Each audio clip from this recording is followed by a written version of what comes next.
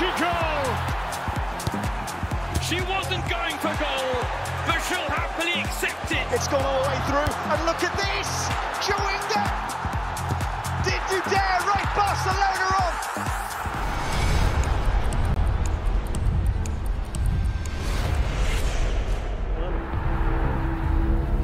The career of one of the all-time greats is all but over.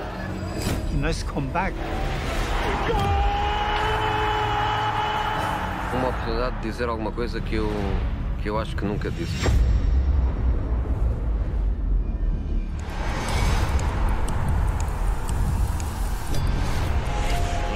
Let's get this party started!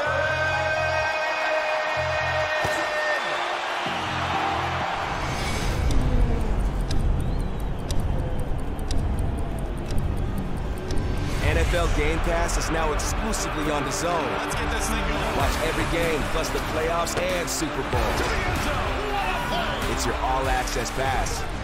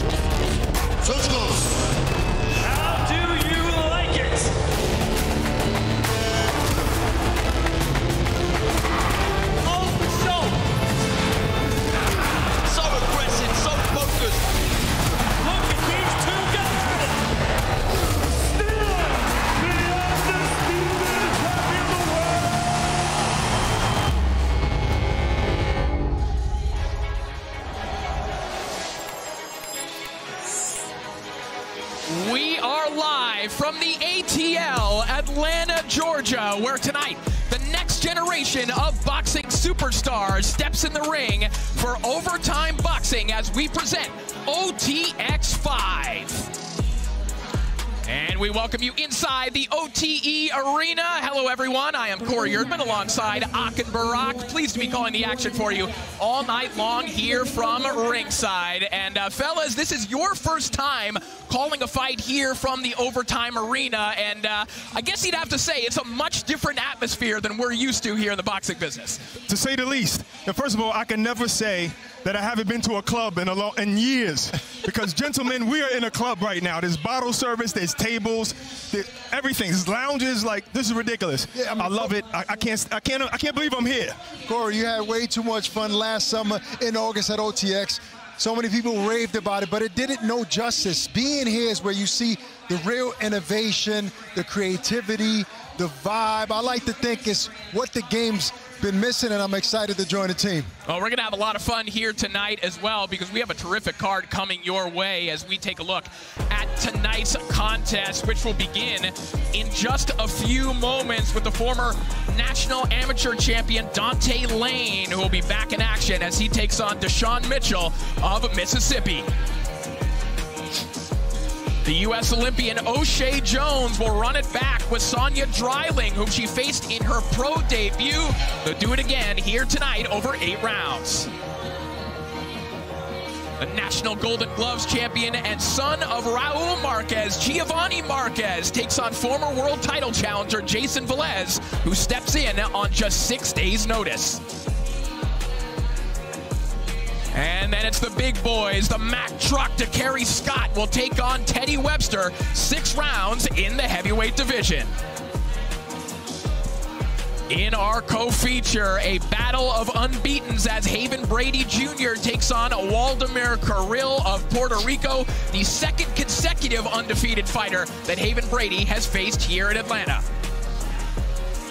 And in our main event, one of the breakout stars of the first season of Overtime Boxing, Elijah Pierce, will take on Arthur Villanueva, eight rounds in the 122-pound division. So a terrific card coming your way. Uh, Barak, let's focus on that co-feature for a moment. I know it's a fight that you're particularly looking forward to with Haven Brady and Waldemar Carril. Again, because Haven Brady is at the stage in his career where he doesn't have to be taking these types of tough tests. But again, here he is, second consecutive undefeated fighter that he's faced here in this venue. Uh, first, I want to say hello to the newest member of the broadcast, the Corey Mustache. You're looking good, brother. Yes, back to boxing. Um, I love that fight because it's the battle of the undefeateds. But what I realize is that, you know, not every undefeated record is created equal. And that's just the case. I think Haven Brady and his team think that we got undefeated beating undefeated fighters. You beat guys that are subpar, and that's the confidence he's coming in with. Now, Carril, on the other hand, is like he's coming in with the anxiety any undefeated fighter comes in with, and that's I don't want to go home without my O, so that's his confidence. Let's talk about our main event then between Elijah Pierce and Arthur Villanueva. Elijah Pierce, you know, you talked about some of the anxieties the guys are facing in our co-feature. Elijah Pierce is putting the pressure on himself, Ock, because this is a man who has been making some lofty promises, and uh, he's been getting busy on social media as well. Oh my God, you, you've been on the rock if you haven't seen the footage of Elijah sparring with Gervonta Tank Davis. Now, he claims he was 17 years old, but still holding his own, but he's making promises to your point, talking about first round knockout. Look, I like to pull first uh, round predictions out of fighters, but rarely do they say the first round. That puts so much pressure on yourself. You, you don't want to go on there the first round and gas out. You have to get your distance, make sure you land a shot, and jump on it if the opportunity comes.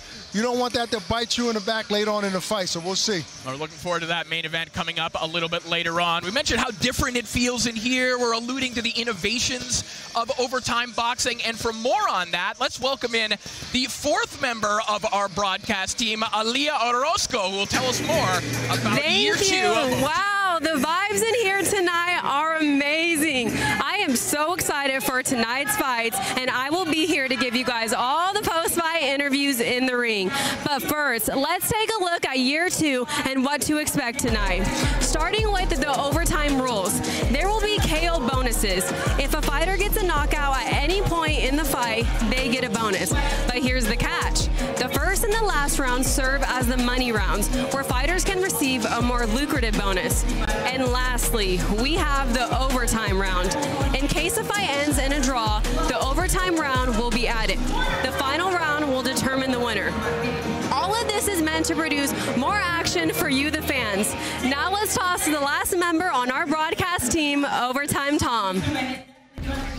Thank you, Aaliyah. And I am down here with Giovanni Marquez. We're getting ready for the fight. My man, how are you doing so far? Doing good, chilling, just calm, relaxed, focused right now, getting dialed in. Yeah, the uh, the punches feel a little weak though. What's going on with that?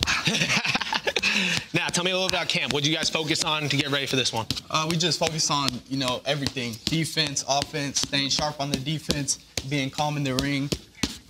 Ooh, ooh I wasn't ready You know, for that. I wasn't sitting- ready for that one. on the shots like that. Yep. Now, that, I feel like you got a little bit more in the tank though, right? Yeah, yeah, for sure. We're just, you know, warming up a light. Okay. And we touch them, touch them like this. Oh, okay. Yeah, yeah. okay. You- Touch You're them, pretty quick. You're very quick. Yeah. I can give one back. You know that Yeah, too. yeah. too, right? um, now, what do uh, what do you think about your opponent? Tell me Uh, about my it. opponent, you know, he's a veteran. He's been in there with a lot of top guys. You know, he's battle tested, but he has a young, hungry lion that's coming for him. Yep. And he's coming to make a statement. Yep. Now we're looking for the C4 fight of the night potentially. Give me a little uh, prediction. What do you think's gonna happen? Knockout, knockout for sure. When- when come in explosive. Could be the first round, could be the second round. That's for you guys to see. Don't blink. I'm coming in. I feel that. I feel that. I feel that. Hey, whoa, whoa, whoa. Whoa, okay, hey, you were amazing. I want everyone to vote for you. C4 fight of the night tonight. Yes, sir. If anyone wants to vote, the people at, at home, C4 the energy that hits. Yep. Check out Overtime Boxing's Instagram, OTX. You're gonna be able to vote for that. Give me one more punch so people vote for you. All right. Hey! All right, I said one. All right, good luck, my man. Good luck, good luck. Back to you you. guys in the booth.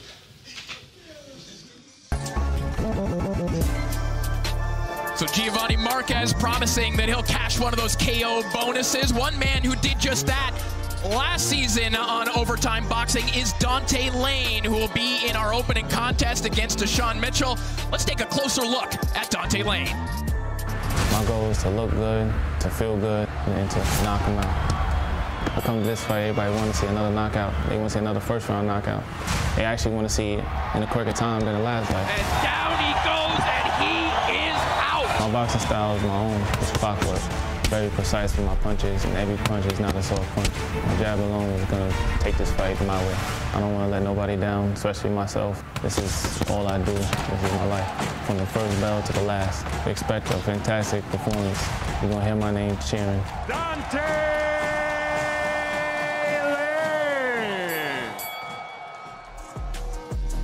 Let's take a look at the tale of the tape for our opening contest. Dante Lane and Deshaun Mitchell. See Dante Lane with a one-inch height and reach advantage. Perhaps more importantly, a significant advantage when it comes to formal schooling in boxing. Dante Lane, a decorated amateur. Deshaun Mitchell, a man who came up through the backyard boxing ranks, so he's looking for a brawl here tonight. And uh, with that, let's introduce our MC for this evening, Mr. Lupe Contreras. Kicking off the action, four-round super middleweights, making his ring walk, Deshaun Mitchell.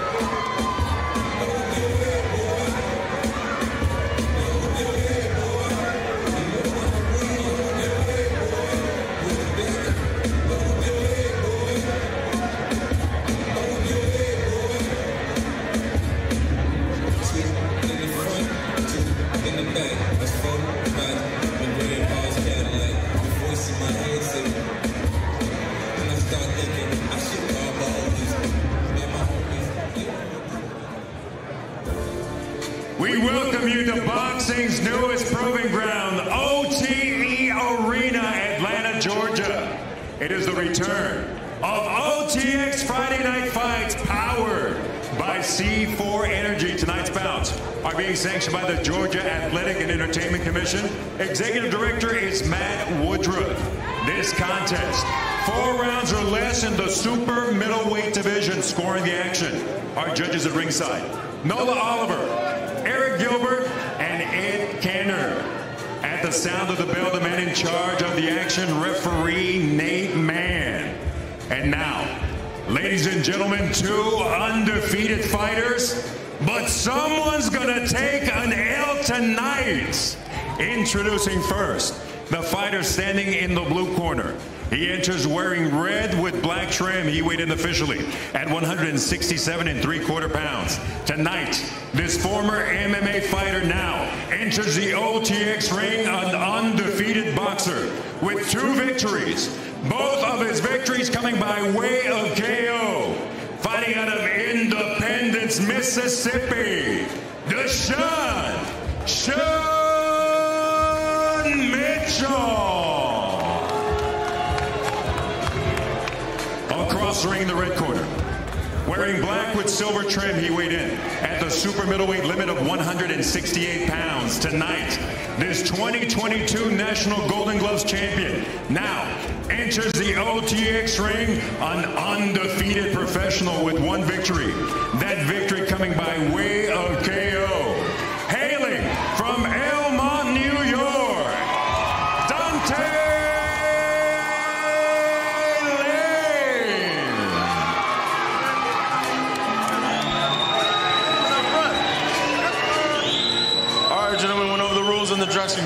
You obey my commands. We will have a clean fight. If you want to touch gloves, do it now. Come out fighting.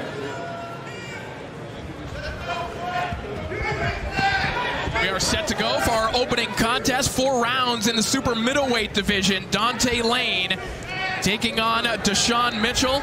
Two young, undefeated fighters. Dante Lane, a multi-time national amateur champion who is very much on the Olympic path. Had the 165-pound weight class been included in the 2024 Olympics, he was forecasted to be going to the games. Oh, 100%. The thing, definitely the most experienced. You can see that already. The pedigree is a little bit different.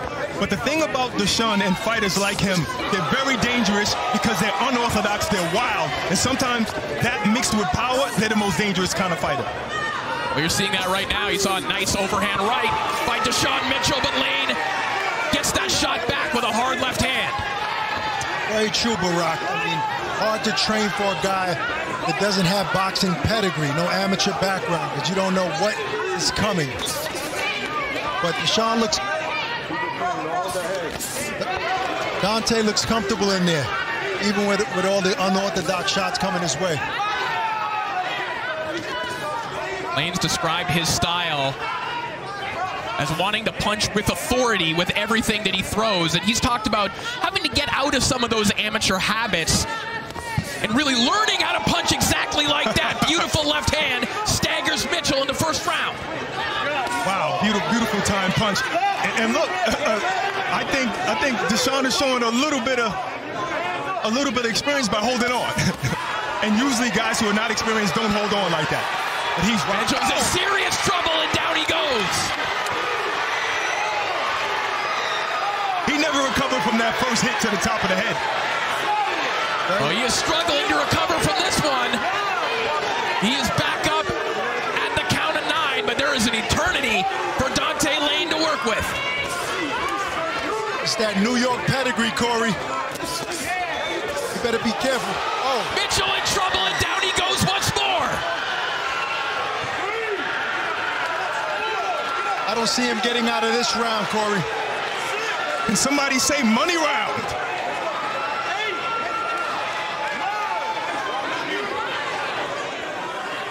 Still close to 45 seconds for Lane to work with.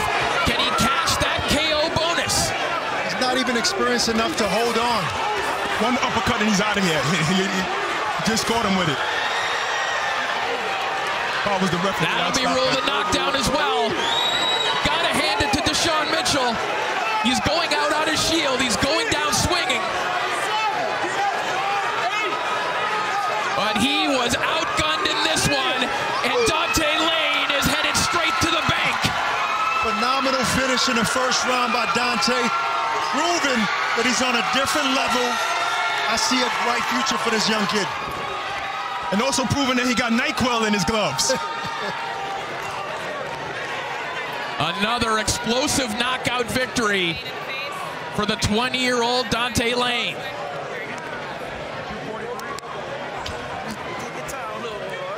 Repping Rockaway hard.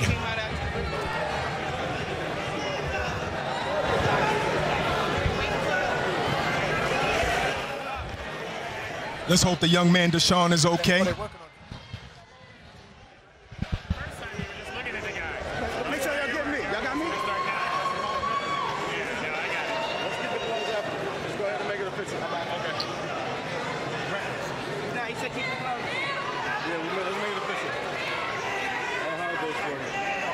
Here's a, here's a quick fun fact. Dante spars with my son. oh, that was that was a shot that hurt him right there. That left hook to the top of the head, that right hook to the top of the head. And he was already on shaky legs. Punching in between shots, dipping shots, uppercut hurt him. I mean, this right is a, hand put him this down. is a perfect example where athleticism doesn't always play a part in this sport, in this sweet science. All right, looks like we are ready to make this one official. Dante Lane cashing the KO bonus, scoring his second knockout as a professional. Both in the first round.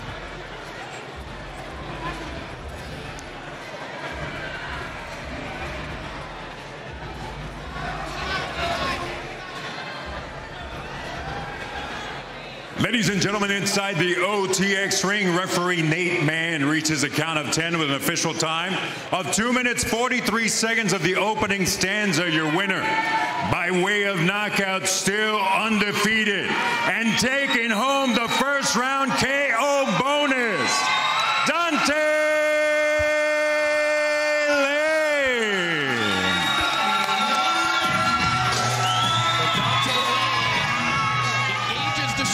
Mitchell in the firefight that he wanted in that opening round. Again, credit to Deshaun Mitchell for going for it. Frankly, that was his best chance against a guy as well schooled as Dante Lane. Right. I think Dante Lane trusted in his power, so he knew if he would come at him. All right, put and him up. Dante is standing by with Aliyah Orozco. What an epic knockout that was. How are you feeling after that fight? I'm glad I, I got it out early like I said I would did, and we just completed the mission at the end of the day. How important was your training camp in preparing you for that fight? Uh, nah, we had fun in this training camp. Great sparring partners, great great sessions. We, everything's about having fun in boxing, so it's never boring. And what would you say was your key to your success in that fight tonight? Um, we knew he was gonna come out come out sharp, come out swinging. Um, we're just taking our time, picking on the inside. The, um, the left uppercut and the hook was really the, um, the dominant, the dominant side of this fight tonight, and that's as all that we, we wanted at the end of the day. Well, congratulations. And I have to ask you, after an epic knockout like that, how are you going to be celebrating tonight? Right now, I'm gonna get me some food. I'm gonna go celebrate with my family up there. They see me. They see me up there, and and we gonna be right back at it on Wednesday. I love it. Well, congratulations again. Back to you guys. Thank you so much, Aaliyah. Dante Lane, obviously. Very pleased with his victory. Uh, New York City, they're definitely taking over these top rows here as well. Oh, we take over everywhere we go. That's right. Yeah. I mean, New York breeds the best fighters. Let's not be bashful here. Ooh, ooh. I'm, I'm Really putting the it there. Midwest, but we, we just take that title anyway. Well, let's take a look at one of New York's newest prospects, Dante Lane, and his handiwork here in our opening contest. You know, Corey, I, I got a feeling that a lot of guys are going to be shooting for first round knockouts. I mean, this is going to be a trend here at OTX. Perfect timing with that that left uppercut. Another that left uppercut right hook was the combo that just ended the whole fight. We'll take a look at the final punch stats. I mean, that looked like a, a video game round, basically. Let's see what the numbers look like. And indeed, Dante Lane outlanding Deshaun Mitchell 21 to 6 overall. That being a 33.9% connect percentage. Obviously, the three knockdowns did the trick. Levels, as they say, levels in this game. At a tender age of 20 years old, I'm impressed with what I saw with Dante. So an impressive way to start things off for us here in Hotlanta. Dante Lane with his second knockout victory in this very venue. We have plenty of action still to come here from in Atlanta, Georgia. We'll be back in just a few moments. PFL versus Bellator was just the beginning. Oh,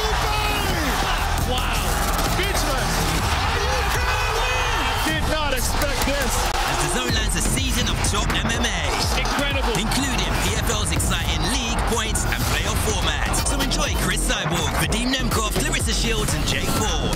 Plus witness Francis Ngannou's MMA return. Unbelievable. The 6 foot 8 champ of champs awaits. DAZN. Unleash the cage. And we're right for our next contest in the women's super welterweight division. The U.S. Olympian O'Shea Jones will be rematching Sonia Drayling. We saw O'Shea Jones here in Atlanta last season. Uh, let's take a look at the tale of the tape. These two very familiar with one another. See O'Shea Jones, the physical advantages are stark. 5'7 to 5'4, but it's that reach advantage, a 78 inch reach on O'Shea Jones. That is a lot for any fighter to deal with. And these two are going to run it back. Let's take a closer look at both O'Shea Jones and Sonia Drayling. You know, this is something that I wanted the rematch on in the first place. We've already done one fight, me and her. And I always love rematches because I know where I made my mistakes and I know where to come back from and to actually show her that, hey, you know what? You may have got the first one, but you ain't gonna get the second. I'm not satisfied with unanimous decisions. The winner by way of unanimous decision, O'Shea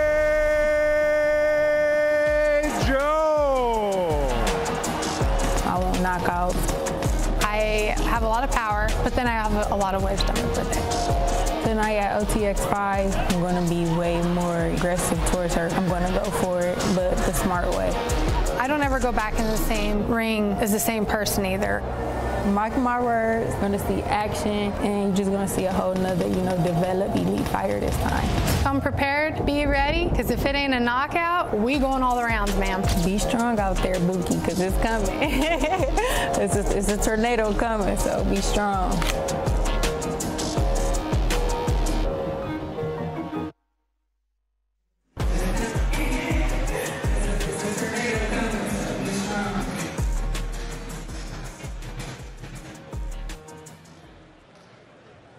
Our next contest, eight rounds, super welterweights.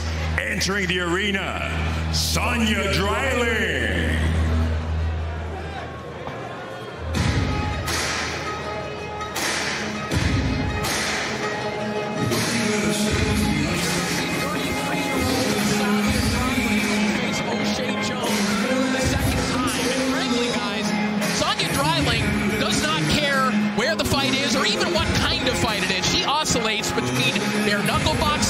She's one of the stars of BYB, and in professional boxing. She fought Mary Spencer just a couple of weeks ago, or a couple of months ago, excuse me. Now getting back in here with an Olympian. She just does not say no to a fight.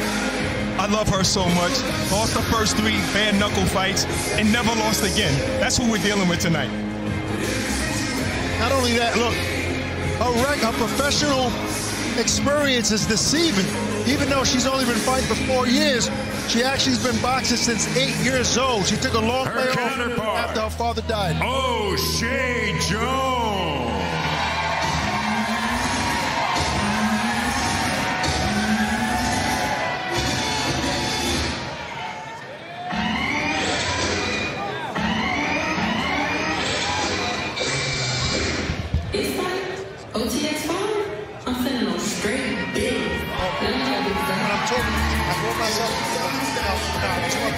Not going, not doing that on the broadcast. They hear me clearly on the broadcast.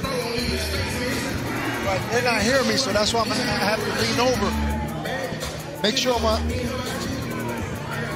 So O'Shea Jones heads to the ring for the sixth time as a professional. Already tabbed as a future world champion, of course. A U.S. Olympian and Olympic bronze medalist.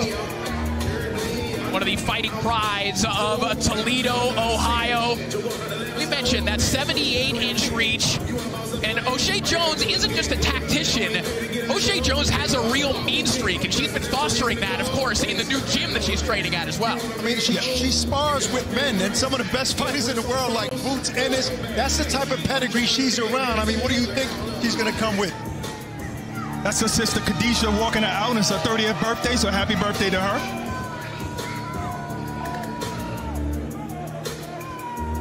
All right, we are ready for our second contest. We continue with the action here at OTE Arena. It is the return of OTX Friday Night Fights, powered by C4 Energy. This contest, eight rounds. On the line, the vacant IBF International Super Welterweight title. Supervising for the International Boxing Federation, Melvina Lathan. Our judges at ringside are Nola Oliver, Eric Gilbert, and Ed Cantor. In charge of the action, referee Malik Waleed. Presenting first, the fighter standing in the blue corner. She enters wearing black with maroon trim. She weighed in at an official 152 and one half pounds tonight. This multi-discipline combat sports veteran enters the OTX ring for the 11th time as a pro with a record of six victories against four losses. Two of her victories coming by way of KO. Haley from Greeley, Colorado, and now fighting out of Albertville,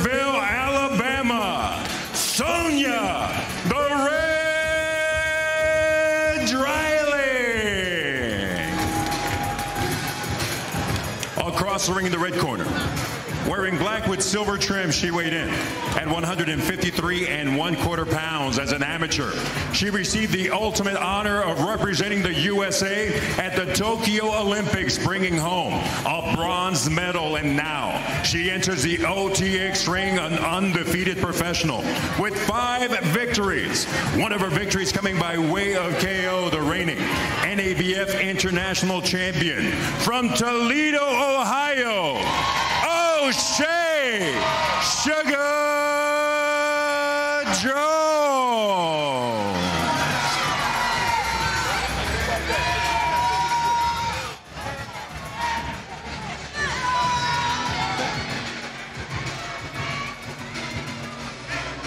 Okay, ladies, you know I'm expecting good, clean boxing. When I say break, stop punching, take a full step back. Remember, protect yourselves at all times. Touch them up. Good luck to you both.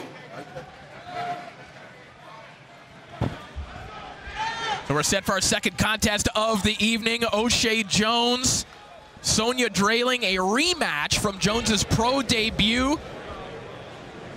So a perfect way for us to assess just how O'Shea has been developing as a professional, getting to run it back with the very person she started her career against. And she says she doesn't want it to go to distance this time. Sharp left hands just like that will certainly help that cause.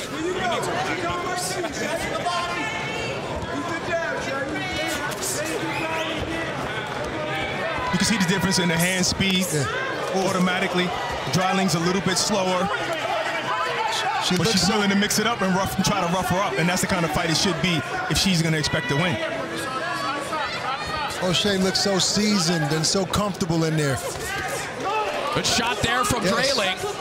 You just like our patent leather skirt because you I like wearing all leather.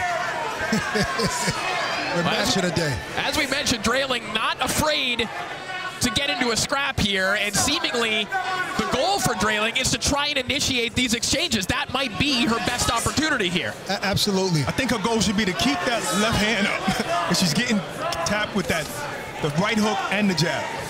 I mean, it's it's clear. Sonia's plan, game plan is is clear to just overwhelm her, make it, make her feel uncomfortable in there. Seems like Jones is getting into a little rhythm here.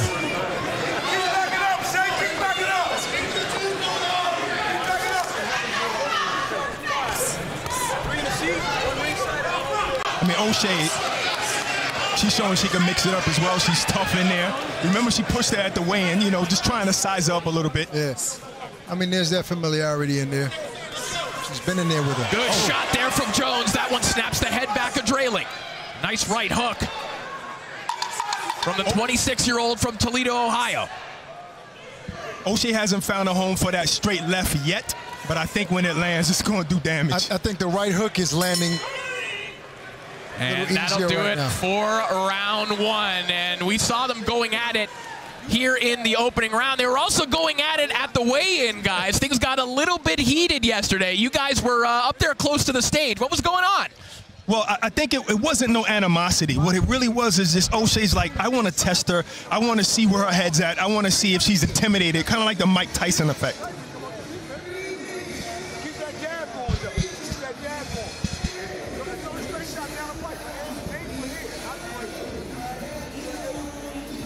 Uh, here we see the footage from the weigh-in. And there it is, O'Shea Jones getting a little aggressive. Here comes the elbow in the face. Like, get that out. All right, I'm going to push you again. Sonia. Sonia wasn't getting upset though. I mean, she was laughing at it. Oh yeah, yeah. Yeah, she was smiling through all of it. She says her faith keeps her humble, you know, and also I think she's like she's not afraid of anything. Yeah. She has three kids. Oh, there's that straight left. There's that straight left that Bozy was calling for. It's round two underway. Believe it or not, Sonia has 66 amateur fights, 63 and three. So she's been, she's she has experience in the ring. Yeah, Dreiling won the National Golden Gloves title herself as an amateur. And in addition to the multiple disciplines that she fights in, she also works in a poultry processing plant. She actually completed her supervisor's training while she was training to fight Mary Spencer while she was training at altitude in Colorado. so you want to talk about balancing stuff, Sonya Dreiling knows how to do it. She has it together. Well, if she's a supervisor, my son needs a job. We're going to talk. She has three kids to feed, and boxing alone is not going to do it right now. Uh, much respect to people who work jobs and train all day and get in the ring. I like this work for Jones, though. You know, thi- this kind of work is going to help her in the long run. It's not an easy touch, not a soft touch at all. Yeah, but I don't think it has to be this hard for Jones. I think if she listens to what Bozy is telling her, which is shoot the jab out before, and that's going to set up everything. Oh, she got a little cut on her right arm. Well, that's the dog in her. She wants to match Sonia's energy. Good point, good point. Is that blood coming from her right arm or is it coming from somewhere else? I think it's coming right from the face of Sonya Dreiling Yes. from, from somewhere. I think so. And it's the body work from O'Shea Jones I tell you what, that's setting though, up these shots. Corey, that that that O'Shea's put in work, but it, it's not slowing Sonya down. Sonya is continuing to move forward, even with the shots Hard left hand landing. there that- from O'Shea Jones. That one staggered Dreiling. Oh. Look at Jones go, putting these Oh. shots together. Oh, my Oh, God. my goodness. Oh. How is Dreiling Savage exchange standing? there. Wow. I'm surprised the referee didn't stop that, but you know what? Almost that whole time, Dreiling had a smile on her face. That's the kind of warrior she is. She's indeed a warrior.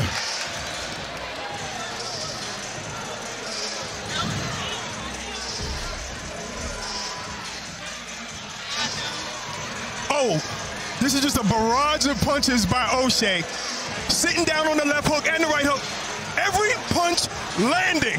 Wow. Incredible. I didn't, what did I tell you about the smile on Dreiling's face? And when the round ended, she stood there for a second like, I'm still here. Yeah. I'll be back the next round. Right, but sometimes you gotta save a fighter for themselves, from themselves. You know, I've seen her take this punishment and bare knuckle boxing, so she could take it. That doesn't mean she needs to take it. I don't think we're at that point yet where she needs to save, be saved from herself. She got a little left in the tank. In her face, you mean? Well, you got to hand it to the corner of Sonya Dreiling. They've managed to do some good work here. Dreiling looking pretty fresh after surviving an absolute vicious onslaught from O'Shea Jones. And if Jones could put another one of those together, guys, you'd have to think that the official is going to have a very close look at this one. Absolutely. no question about it. But, but what's 10 ounce gloves when you're used to taking bare knuckles to the face? Well, obviously it did some damage. I love the dog and O'Shea. Oh, Like, She is going forward. I like eh, the body work, the body attack. Beautiful down right hook up top there from Jones. Right, right. Sitting down on all her punches. I, I think if she if she continues to throw that right hook to the body, she's gonna start slowing Sonya's attack down quick. This this round, Corey, might not go past. This fight might not go past this round. If O'Shea keeps that energy, this fight ends in this round. I'd love to see a, a left uppercut And from we see O'Shea. Haven Brady Jr. in his locker room watching this one intently. He is very close with O'Shea Jones. They've become inseparable in training camp. And see Haven uh, clearly finding it hard to focus on his own fight right now. He has a fight coming up, but he's watching his sister and he's rooting for her. He's, act, he's he almost feels like he's in the fight. I'm sure he's more think, nervous think about the her fight. referee needs to start looking closely now. Well, I think how she's can taking you a take little your too eyes off of this? This is an offensive clinic from O'Shea Jones right now. And this is a clinic in heart and determination from Sonya Dreiling as well. Absolutely. The credit has to go two ways right now, but the offense is going only one way. If not the referee, Corey, the corner needs to start looking closely if they care about a fighter. She's taking too many right hooks. Flush to the head. Wow. Dreiling manages to survive this round. Beautiful offensive display by O'Shea Jones. I, I think that's the best we've seen right, well, Dryden right. do. Right now, overtime Tom is standing by with Haven Brady, who's still backstage watching this fight. Thank you, fellas. I am down here with Haven Brady, who's got a fight in a little bit, but you're watching your friend O'Shea Jones. First, how do you guys? What, what's your guys' relationship? How have you known each other? What, what's that? Uh, I've been knowing Shay for like three or four years, and that's like my re- that's my sister. That's my real sister. I feel like that's my real sister, but I've only been knowing her for three years, for sure. And you're locked in now watching her fight, even though you got one coming up in a little bit. What's it like watching her put on a, put on a great performance right now? Uh, she just she just starting everything off, uh, and I'm gonna finish it. So uh, she just giving me a lot of motivation. She looking good right now. I think she gonna stop her. Uh, she killing her with the hooks, but uh, she's starting to show, and I'm gonna finish it. And now you guys trained together leading up to this. What, what, what were you guys doing before this? Uh, yes, uh, we've been training together for the last two and a half years, and uh, we uh, do camp together. We basically do everything together. We go home. We, that's that's my sister. And it looks like she's on her way to another win. Talk to me about her career, what this could do to, to propel her, especially in OTX. Uh, with her being an Olympians, and uh, she she she got a fast start, and um, I think she shooting for a world title in the next fight or two. So. Uh, that's that gave me a lot of motivation. You know, as being a boxer, that's that's the biggest thing is being a world champion. So. Uh, I think before this year out, for sure, I think she'll be a world champion. So I'm very proud of her. I love it. And your fight's coming up in a little bit. Can I get a quick little prediction for what's uh, what's going to go go down when you get in the ring? Man, it's going to be fireworks. Just keep them phones out, and no telling what's going to happen. It's just going to be a great performance. I love it. Haven Brady, rooting on his friend, but also got fighting a little bit. Back to you guys in the booth. Much, Tom. Looking forward to seeing Haven Brady Jr. a little bit later on in our co-feature. Right now, it is more of the same from O'Shea Jones, who is just putting a pounding on Sonya Dreiling.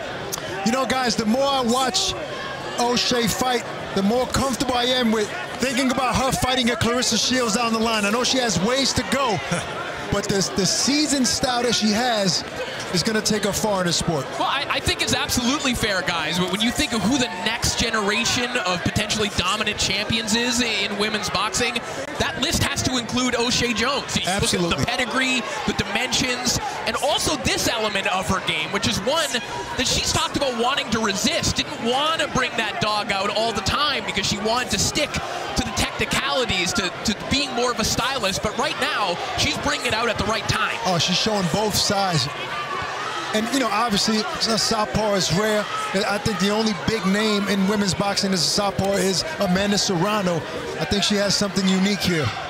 You know, the only thing I'd be worried about with O'Shea is that can she punch herself out against a fighter that can take all of her shots? Well, and I mean, if, if, that she happens, what does Dreiling do after that? Well, that whole condition plays a part, Barak. If she's a fighter that's going to be ready to put that onslaught throughout a fight, then yes.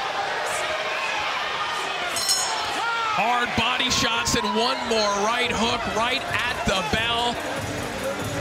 O'Shea Jones putting on a clinic right now.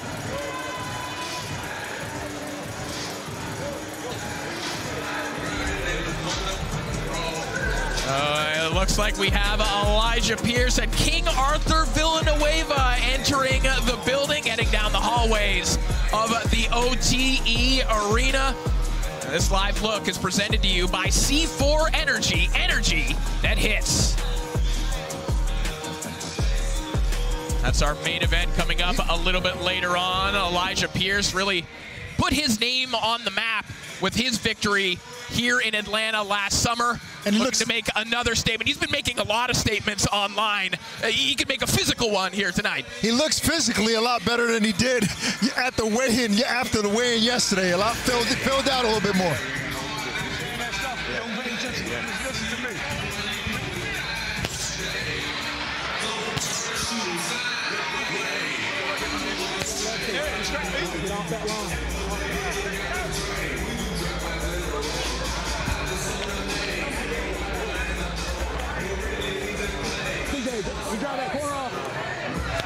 You know, Corey, O'Shea says she's ready for a title fight, her very next fight. Even though this is a sixth fight, she's ready. We just had the doctor take a close look at Sonya Dreiling. Very brief look. Yeah, yeah, she need that. I told her and uppercut too. the doctor was just looking at Dreiling, and we heard we could hear Bozy saying, "Please stop the fight." See? It set you right up. Do it again, Shay. Do it again. Bye. Bye. Bye. Yeah, just like that. Relax. Relax. Do it again. You hear the voice of Bozy Ennis right now. Up the combination. Keep going. Try to body with this straight shot too. A hard left hand right down the pipe there from Jones. So Barak, I think she is finding the left hand now, along with the right hook. Do it again. I don't. I mean, we have three rounds after this left in this fight. I think the crowd is not only listening, and the fans are not only listening to Bozy, but O'Shea's listening to Bozy. There you go. All day long. Look, Sonia's tough, no doubt about it. But at some point, the referee or her corner needs to start taking a close look and stopping this fight. There we go. And that is it. There we go. Right on time. And that is an ethical stoppage. And Sonia Dreiling, understandably a warrior, she wants to fight to the finish, but at a certain point, guys, this is not competitive, and this is not safe for the fighter to be taking part in this either. No, but, but she's, I mean, she's a warrior, and she's saying, listen, my nose bleeds all the time. I wake up with a nosebleed, It's you know, not so about- she's upset. It's not about the nosebleed. It's about the shots that are coming in with no defense at all. Too dangerous. But in, in defense of Dreiling, as we take a look at the replays, the threshold in her world of bare knuckle boxing is a lot different. You can look a lot worse than that, and the referee will let it go. In traditional boxing like this, you're not going to allow that to continue. See, the jab really set everything up before that referee came in, and that jab and that straight left was so precise. The referee had no choice but to just stop that fight. And I'm not mad at that, obviously. It was a one-sided beatdown. Yeah, and you, if you look at O'Shea closely, Barak, she doesn't look gassed out. She's barely breathing. She's in good condition. She could have won another four or five rounds.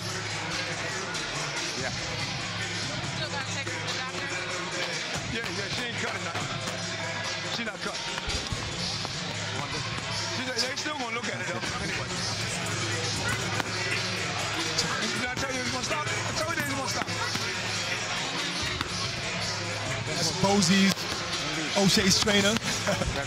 Just confirming. I told you we was going to stop Dreiling. I got all that blood on that nice looking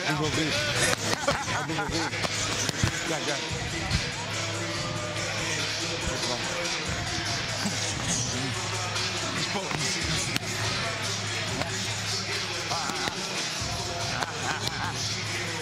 O'Shea Jones, victorious in her sixth professional fight and regional title belt also on the line in this one. Obviously that means a step up in the rankings for O'Shea Jones. That means speeding up the process towards some of those bigger fights that you were talking about, Ak. Right, since the pool is not so deep in boxing, I don't want to say women's boxing, but since the pool is not so deep, she can get to a title maybe in the next couple of fights. I mean, wh- why couple of fights? I mean, when you talk about guys that are medalists, these guys are fighting for world titles at one, two, three, and four Uh-oh, come fights. on, Why on, not go? O'Shea, go O'Shea. If you ask me, she's ready for a world title right now. Right now. But, but Dag, I, I don't, I don't know if we're able to say that against Dreiling. Maybe she is. I mean, she spars Claressa It's Shields. pedigree, Barak. It's pedigree. She's had a, she's a decorated amateur. She's fought on an international level. And yes, the pool isn't that deep. All right, all right. You, you're finally right one time, and you got to rub that in. All right, thank you. Sonia Dreiling getting some extra medical attention here.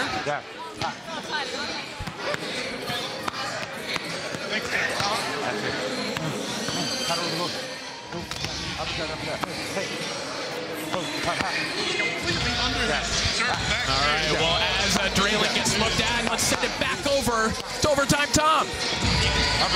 Hey, thank you, fellas. I am here with DD O'Shea Jones' mom. You just watched her absolutely destroy someone. How are you feeling? I'm feeling good. I'm feeling good.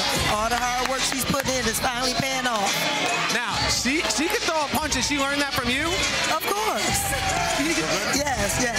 When, when did she first start fighting? When did you realize that this could be a career for her? Well, she started at a young age and accidentally, she accidentally started boxing. Her brother used to Strapped up, and it was a natural, and it came natural for her. I love it. I love it. And now, you know, she's off to a great start with her career. What do you think it, the future holds for O'Shea? Definitely a world championship. Definitely the a world champion. So we're looking forward to that and bigger things. All right, and you got a big crew of people here. Who, who's here with you guys? Everyone's supporting. Everybody, her whole family, everybody, everybody, all in Toledo, Ohio is here to represent. I love it. I can't wait for you guys to celebrate tonight. Congratulations, Dee Dee. Congratulations to O'Shea Jones. Back to you guys in the booth. You know, speaking of future, right? The Sona Dreiling at her age with this type of performance, should she continue boxing? I mean, at what level will she get to? Well, we know that she is a force in bare knuckle boxing. She has multiple disciplines she could choose from. But clearly tonight, O'Shea Jones, too much for Sonia the Red tonight. All right, looks like we're ready to make this one official. Let's send it up to Lupe Contreras. Ladies and gentlemen, here inside the OTX ring, an accumulation of punches forces referee Malik Waleed to call a halt to this contest with an official time of one minute, six seconds of round number five, declaring the winner by way of technical knockout. And now, the IBF International Super Welterweight Champion, O'Shea Sugar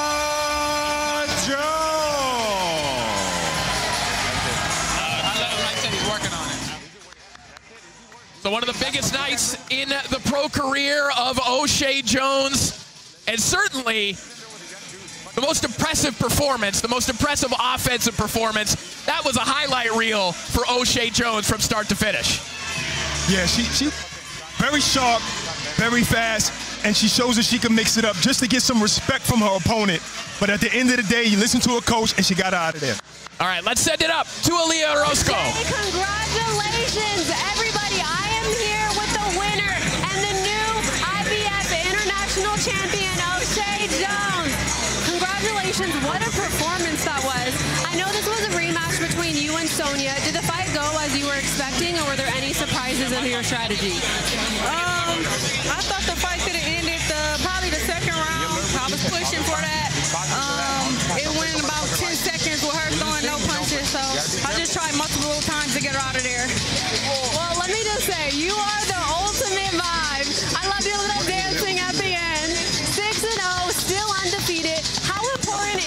you to not only win the fight, but to entertain the fans with your style of boxing? I know you definitely had me entertained on the edge of my seat the whole time. Yeah, um, I like to give, you know, the fans an entertaining, action-packed fight. You know, they pay their money, hard-earned money at that. So I just want to have everybody satisfied every time they come watch me. I love that. And O'Shea, you were the first women boxer out of someone we're going to see many historic firsts out of. With that being said, what's next for you following this win, and what is your overall goals in the sport? Um, my overall goal is to be uh, undisputed in any way that I fight.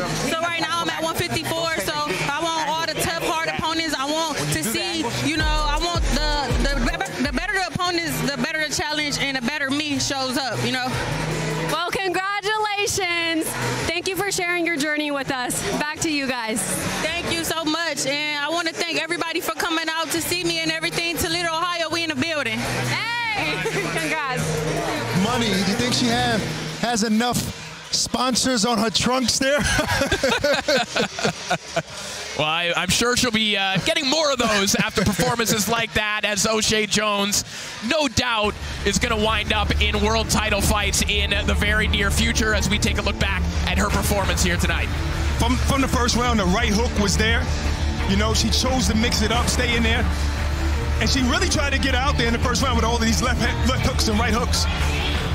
And she was just taking every shot, Dreiling. It was just, it was ugly from the first round.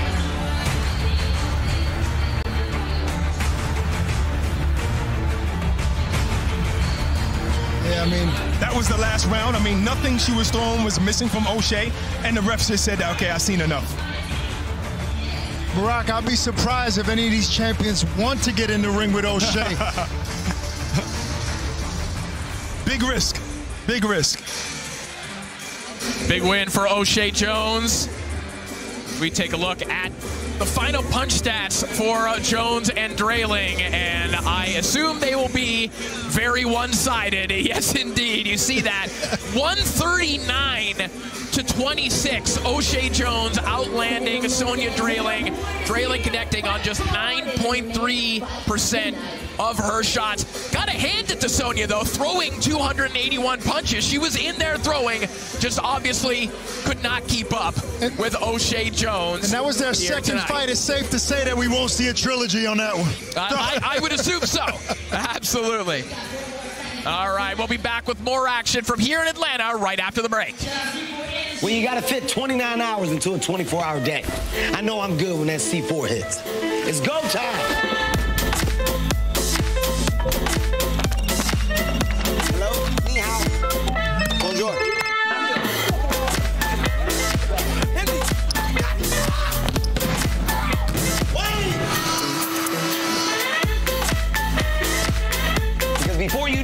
Another day and you got to be ready to go. So let's f***ing go. Well, you saw him warming up with Overtime Tom earlier on tonight. Now you're going to see him for real. Giovanni Marquez taking on Jason Velez as we take a look at the tale of the tape. You see Marquez with a one inch height and reach advantage.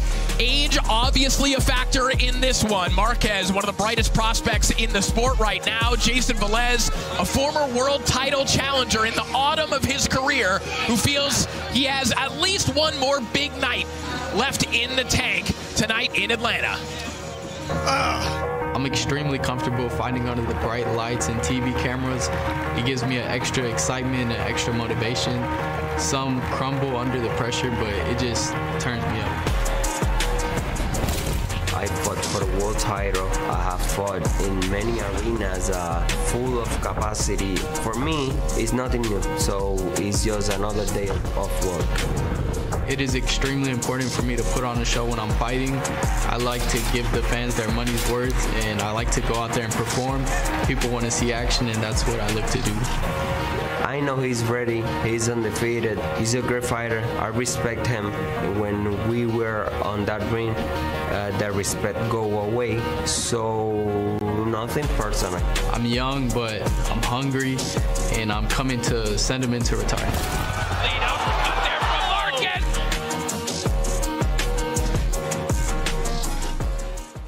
Our next contest, six rounds, super lightweights, making his ring walk, Jason Velez.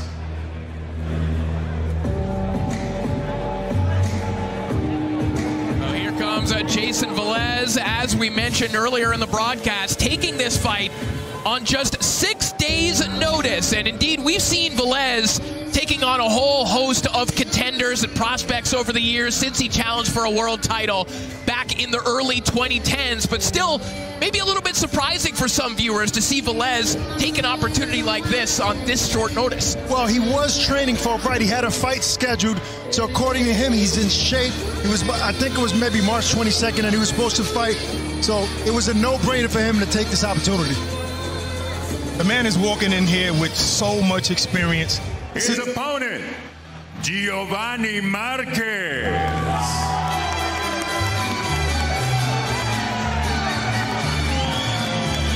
You heard Giovanni Marquez just moments ago saying he's ready to send Jason Velez into retirement, and that's part of the bigger theme he's been pushing here, which is the start of a new generation. He feels that he could be the next in line in terms of Mexican superstars in the boxing world, from Oscar to Canelo. He feels that in a couple of years, that particularly with his backing in the Houston region, he could be in that type of conversation. But I'll tell you, pedigree is the first thing that comes to mind. I mean, not only his father, but his brothers. He comes from a family of fighters. And you know, Corey, don't say this. We continue with the action here at OTE Arena, Atlanta, Georgia.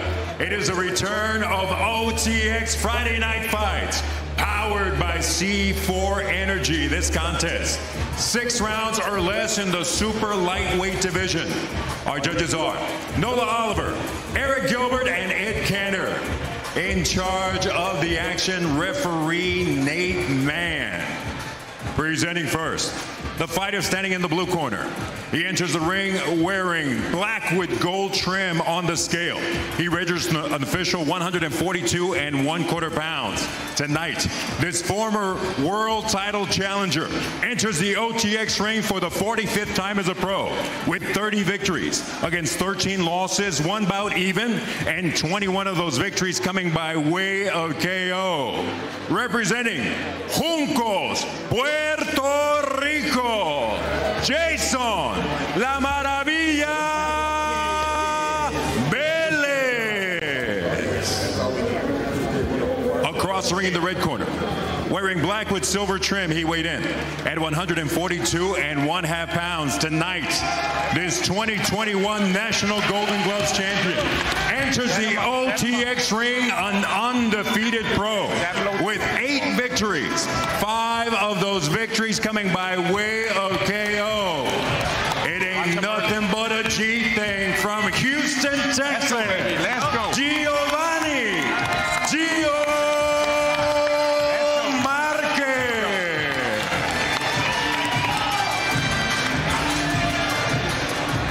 All right, gentlemen, what are the rules in the dressing room? Make sure you obey my commands at all times. Protect yourself at all times. We're going to have a clean fight. If you want to touch gloves, do it now. Come out fighting.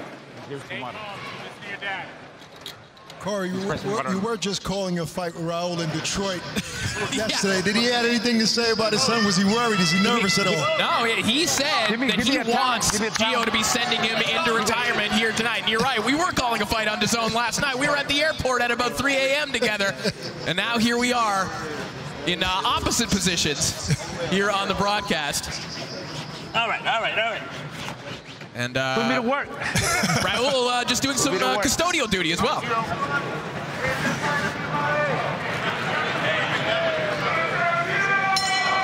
Veteran Jason Velez stepping in on six days notice into this six rounder against Gio Go up to Marquez. there, right?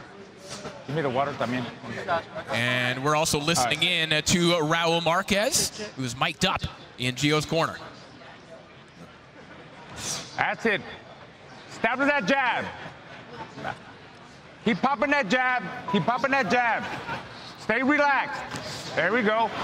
Sneaky left hook there by Velez. Oh, he has 13 losses. Give him some face.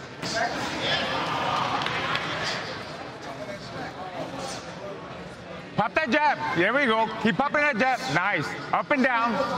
Put it in his face. Watch those counters. That's right. Couple good check left hooks here from Giovanni Marquez. Hey, Raul, I don't know if you can hear us. Is the strategy here early on to focus on the jab to the body? Yeah, we're trying to establish the jab. Good solid jab, changing it up, like stay with the jab. And if he wants to fight in the, in the center and then, then give him some of that, but attack from angles. Attack him from angles, Gio. Raul, how worried are you Move your, about move your head. the experience that smart. Brings in there? There we go. That's it. Keep touching. Keep touching. Hey, Guys, it's safe to say that Velez is Giovanni's biggest test to date, in spite of his losses. Bump him off, Gio. Bump him off. Don't let him get dirty with you. There we go. Probably the oh. biggest test, the biggest name. Nice shot there from Velez. He's been sneaking a couple of left hooks in there. Good right, hand right the as well. Good shot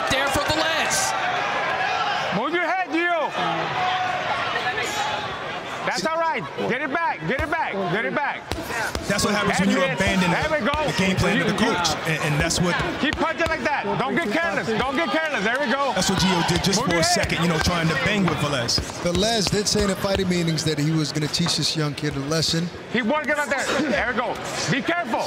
Don't, don't let him able to deal with surprise you. Don't let him surprise you. Yeah, but I'm just not sure that Velez could, could stay with this kind of pace, even though he's looking good right now. Watch those counters. Yeah, you're dealing with youth, and Yes. power, and speed. Come on. Come on. Get to work. Again, this is just a six rounder, so perhaps both men. Come on, Nice Gio. shot there from Velez. Both men banking on the idea Gio. that they can sustain this body, pace for 18 minutes. Nah, Well, come on. As I Get always say, right distance. conditioning plays a major part, so this is when Push him around. we find out who put the There we go. work. There we go. Let's go. Let's go. You can. Velez has nothing to lose. He will put everything in to this first. That was a good slip and, and left hook and right hook. Another good Another shot left. there from Velez and a right hand over the top. We might need to see a little bit more head movement from Giovanni. Not just that, but the jab. Keep keep Velez off him. All right, let's listen in to the Marquez corner. Let's see what Raul has to say.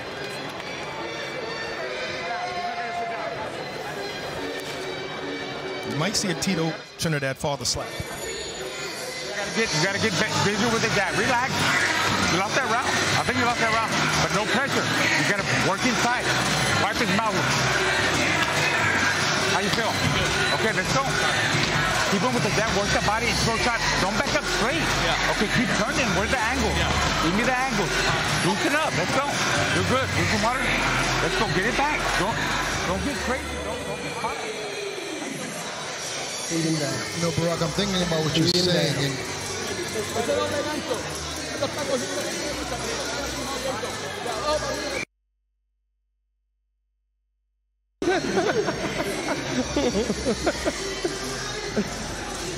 Mack Truck. Mack Truck.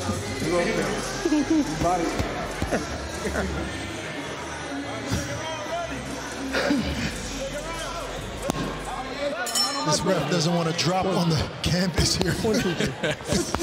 Round two here, Giovanni Marquez and uh, Jason Velez. Ak, you heard something in the Marquez corner that seemed to stand out to you.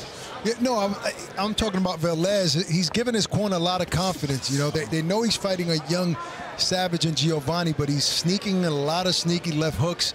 He's getting on the inside. They're really comfortable right now with Velez's performance. Well, what I heard in the Marquez corner is that you might have lost that round. I'm being real with you. You lost that round. And I love that because you're going to be real with your fighter and you want him to go in there with an understanding of where he's at in the game. Well, keep in mind, we always talk about that father-son dynamic in the corner, and, and one thing that we always talk about is at a certain point, it reaches a plateau where maybe you can't be as honest with your son as you want to. Raul Marquez was very honest with his son there after the first round. Absolutely, and that's how you should be. I mean, all trainers need to take a, a script out of Marquez's training book because oftentimes they're not honest enough with their fighters. See, Marquez has good legs, but he's not using them right now, and that's why he's getting caught with these left hooks. Well, the problem is these young fighters, you know, they it's the ego that plays a part. Once you get hit with a few shots, you want to get your lick back, and sometimes you take risks. Yeah, but you're in there. You're just in there with a veteran right now, you know. And, but you're taking shots you shouldn't take. Marquez told him. His father told him to stop backing up with your head up, and that's the mistake he's making. Well, as I said earlier, moving his head, I think the jab is important. To your point earlier, Barak, it needs to be upstairs and downstairs, upstairs and downstairs. Create the right distance before you start throwing those bombs. See Marquez still honing in on that check left hook. There's a nice combination on the inside. And a couple of chopping right hands, and he might have Velez in some trouble. You see Velez grabbing a hold of that arm, grabbing a hold for the first time in this fight. Youth, youth. He grabbed the arm that hurt him. It was the left hook. I guess he's he's listening to the instructions now. He's looking comfortable, getting at the right distance, and j- the jab is what does that. Listen, the pressure is on. OTX5 is not disappointing. We just saw two knockouts, so you know it's going through Marquez's head. I got to get this guy out of here. Nice shot again from Marquez. Or maybe he's waiting. Maybe he's, He's waiting for the six round bonus. Velez is hurt. Look at his legs.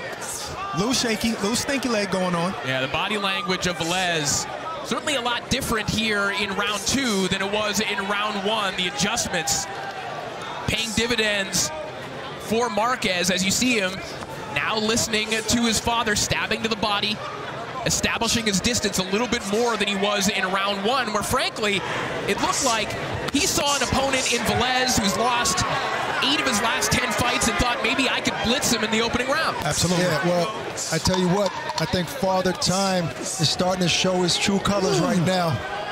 Talking about a guy 36 years old, over 40 fights. He's been in there in a lot of wars. I think Giovanni's starting to get into his uh, his bag. As we see Giovanni Marquez taking a seat in his corner with his father and trainer Raul Marquez. We caught up with him earlier this week to talk about fighting in the shadow of his world champion dad. I'm not tired of answering the question about fighting in my dad's shadow. It just comes with the territory and it, it gives me more viewership, more exposure, so I just take it as a positive. I expect to make a name for myself just by continuing to be victorious And once I win world titles, multiple world titles, is when I'll separate from just being my dad's son.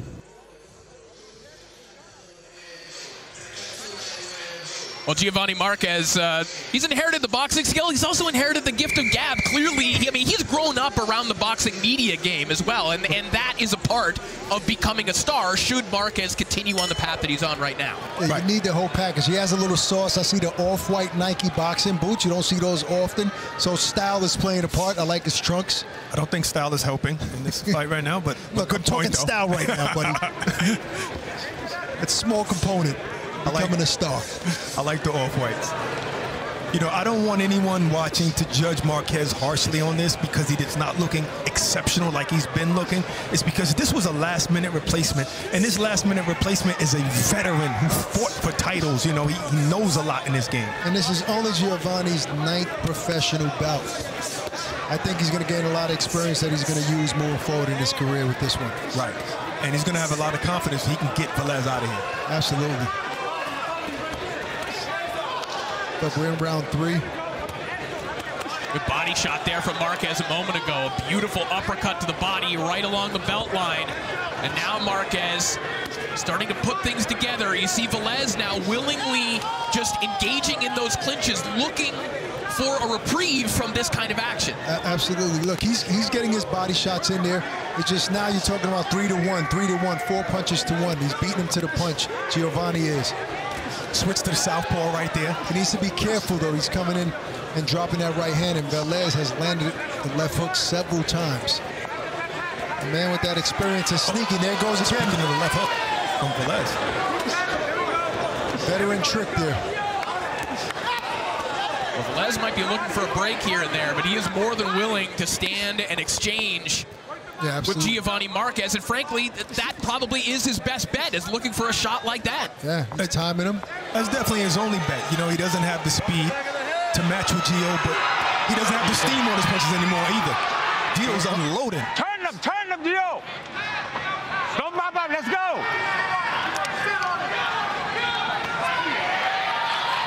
There we go, sit on him. Feel him out, feel him out, feel him. Feel yourself.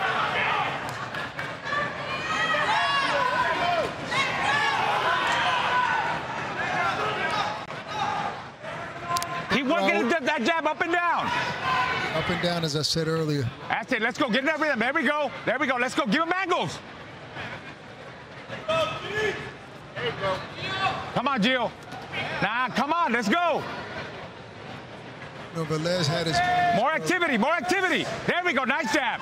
Nice jab. Let's go. There we go. Let's go. Jump on him. You got him, Gio. yeah, that one might have staggered Velez. I think Raul Marquez seeing the same thing go, right go. now. Definitely starting to fade. 10 seconds remaining in the round. You do not like how Velez is reacting to some of these shots. Velez has no legs. Even right now, trying to turn a corner, Velez's legs are absolutely gone as he staggers to the corner. Yeah, I mean, look, as I said, he had moments early in the fight, landed some left hooks, but the momentum is changing. Obviously, youth, speed, power is playing a part. Uh, I, think we're going to get another knockout in this third fight here at OTX. Well, coming up next, we have an Atlanta local, Mack Truck Scott, who will be taking on Teddy Webster, the king, who says he's ready to bring the jungle of Mississippi to the streets of Atlanta. The big guys coming up next, six rounds in the heavyweight division. Excited for that one.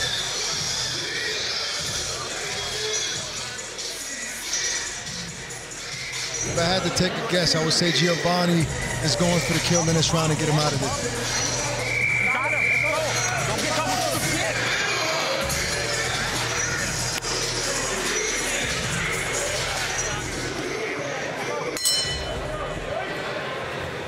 Round four underway, and the corner of Giovanni Marquez certainly feels like they are on the brink of another knockout victory. Uh, we the body certainly didn't sides. like how the Open legs of wide. Velez were looking at the end of round Set three. up. There we go. Set him up. Nice. Be slick. Be slick. Entertaining fight we're seeing right Everybody in this venue is a great seat. in no way is Velez just laying down.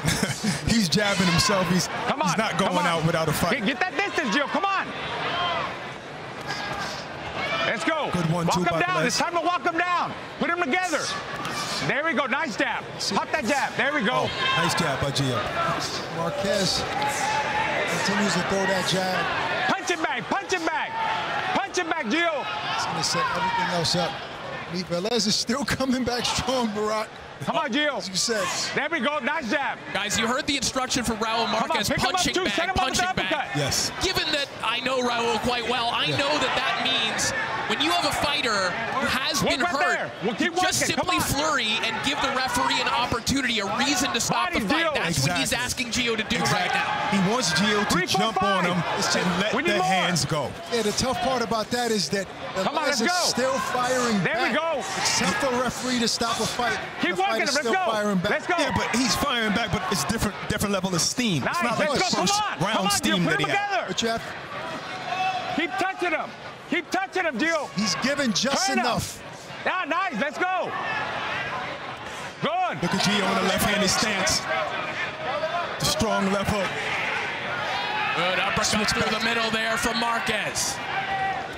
Gio is being Come tested on, in let's this go. fight, Let's believe go. it or not, guys. Busy, busy. Get busy in there. Nice. Let's go. I think we need to see more body attacks That's from. Gio. I think that would finish him off. Here it is. This is it. left This is hand there this- from Marquez. This may be the moment. Velez in serious trouble. Come on. Velez just trying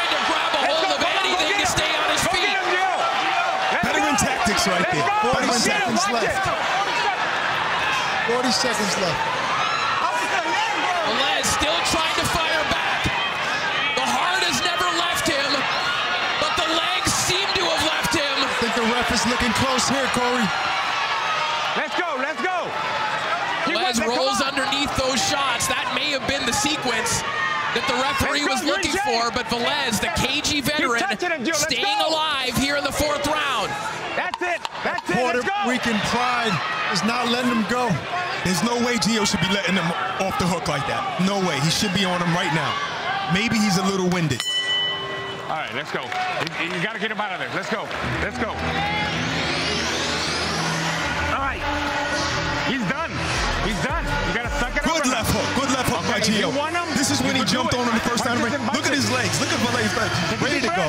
A lot of those shots A lot of those shots missed, You, you're in shape to but, but he already felt the, Right now, the first shot. rounds. You can still get the Flush out of there. left hook. If you want Double out of there, left hook. get him out Right hook to there. the head. right? Be smart. Walk around. Block. Boom. Boom. You see, when he keeps backing up instead of staying on him. And keep touching. And that's what- that's what his father's telling him now. Okay? He said, you got to get him out of there. you finish the combination, jab, jab, jab, jab, jab, jab. Keep touching, touch. Boom, boom, boom. Change the speed. Boom, boom. Angle, angle. You got him, okay? If you want to stop him, you can get him. You got two rounds, okay? You can do it. Well, at this Fucking point, tired. He's tired. He's done. Let's go. Let's go. Let's go. maybe he should wait another round and get the last round bonus. Got two rounds. You can stop it there. Come on. Take this round off. Round five underway. Good point. Is Gio trying to carry him to the last round? busy. Let's to the money round. Got Be a bad rounds. idea. I mean, listen, you get a bonus no matter what. I, I, I think you obey your father and you go for it here in the fifth, but we'll see what Giovanni Marquez is able to put together, the 23-year-old from Houston, Texas. Maybe he gets the bigger bonus and buys his father a nice little gift. And Velez still just doing just enough to not get stopped. not only not to just get stopped, but frankly to keep Giovanni Marquez honest as well. Marquez is more shots in this fight than we've seen him take in any other fight. Yes, he's doing a lot of great work offensively. Yes, it looks like he could be on his way to stopping the biggest name that he's ever faced. Yes. But as you mentioned earlier, Ock, it's not like he's not being tested in this fight. Oh, absolutely. Look, he's made some defensive mistakes, and I'm pretty sure that Raul will go back to the drawing board in the gym and work on those things. But he's fighting a guy who has been in so many fights, and he's he's, oh, he's getting really close to stopping him. So I, I mean, tuck your chin, keep your head off the line. He's fighting a guy that's experienced, but the guy is not doing things that are special that he should be making Marquez look like. That's it. Let's go. I would say body.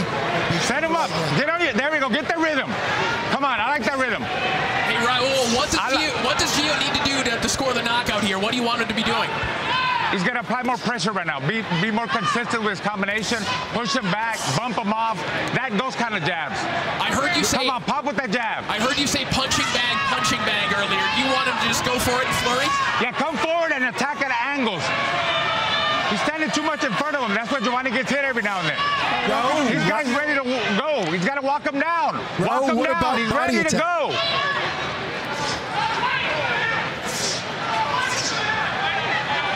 He's ready, Gio.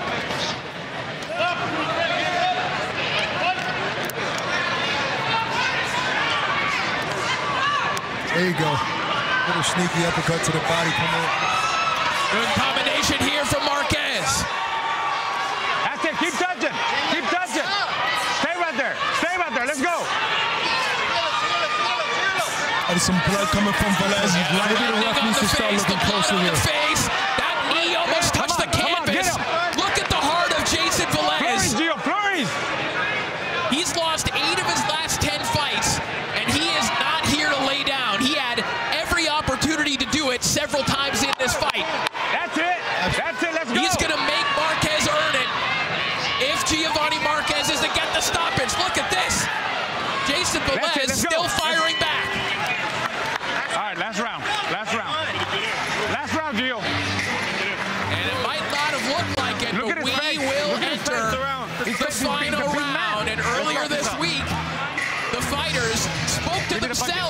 Themselves Here, the about what they wanted to hear heading into the He's a final big round. man, okay?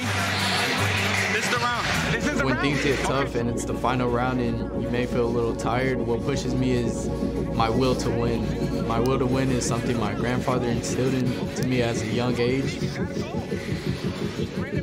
That inner voice is telling me how bad you want it, how bad you want it, and I want it bad. So I go out there and This is the round. This is the round, okay?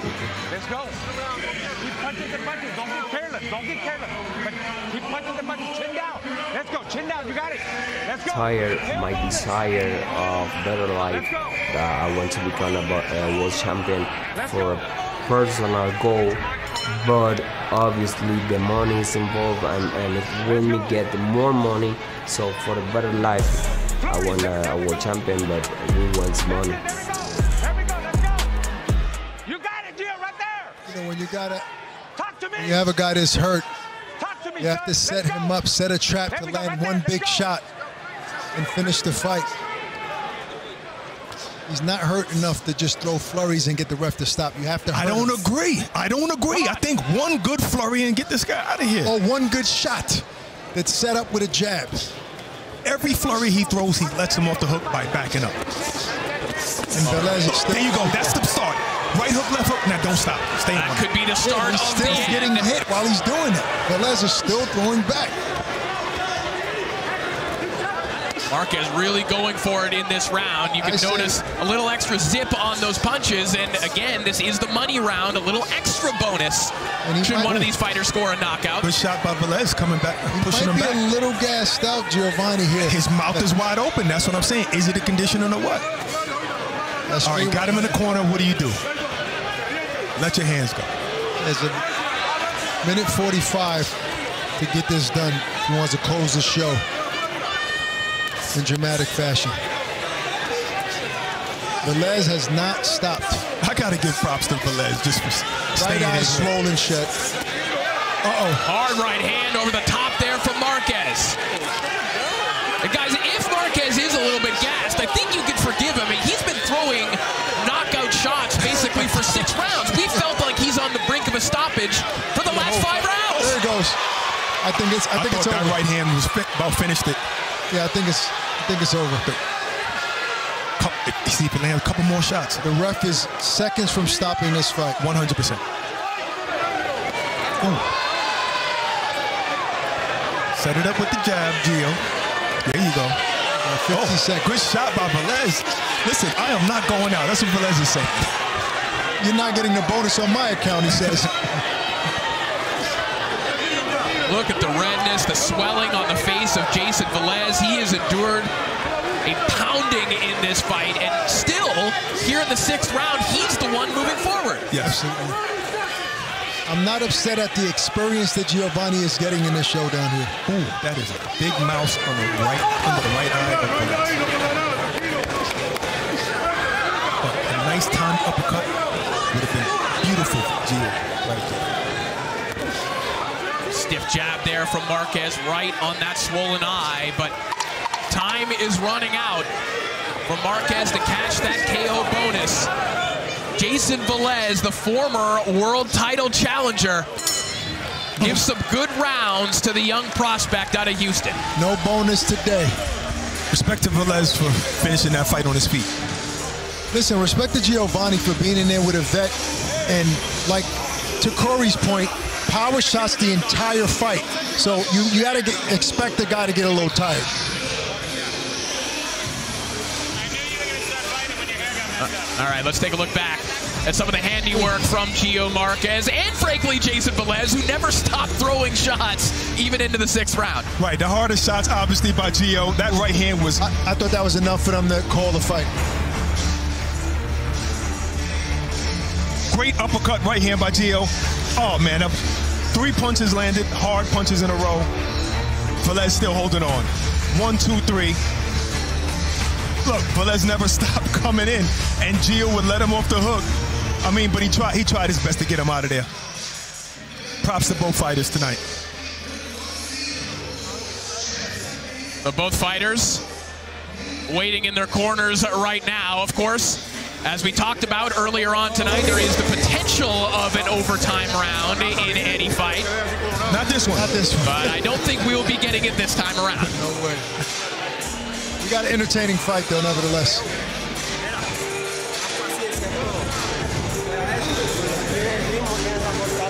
A valiant effort from Jason Velez. And, you know, guys, this is a difficult way to make a living. Obviously, that that's valuable experience that Jason Velez has given Giovanni Marquez here tonight. But it's still tough to watch a former title challenger working his way down the ladder and taking punishment like that. All right, looks like we are ready to make this one official. Let's set it back up to Lupe Contreras.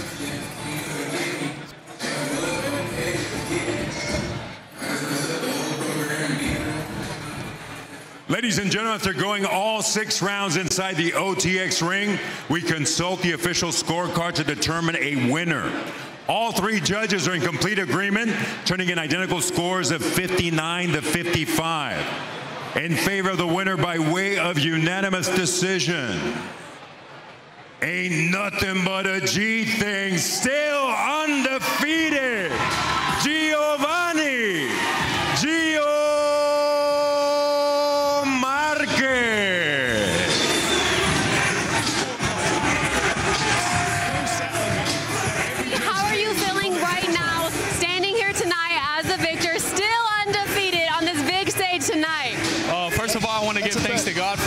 safe, allowing me to get to come out victorious. And I feel I feel good. I'm happy to get this victory, but I definitely got to go back home, get to work, and make some improvements.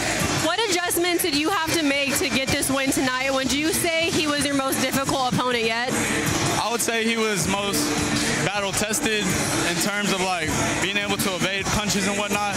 Uh, I, I started off a little slow, but then I got my rhythm and I picked it up. But I was loading up with shots a little too much. I just gotta stay a little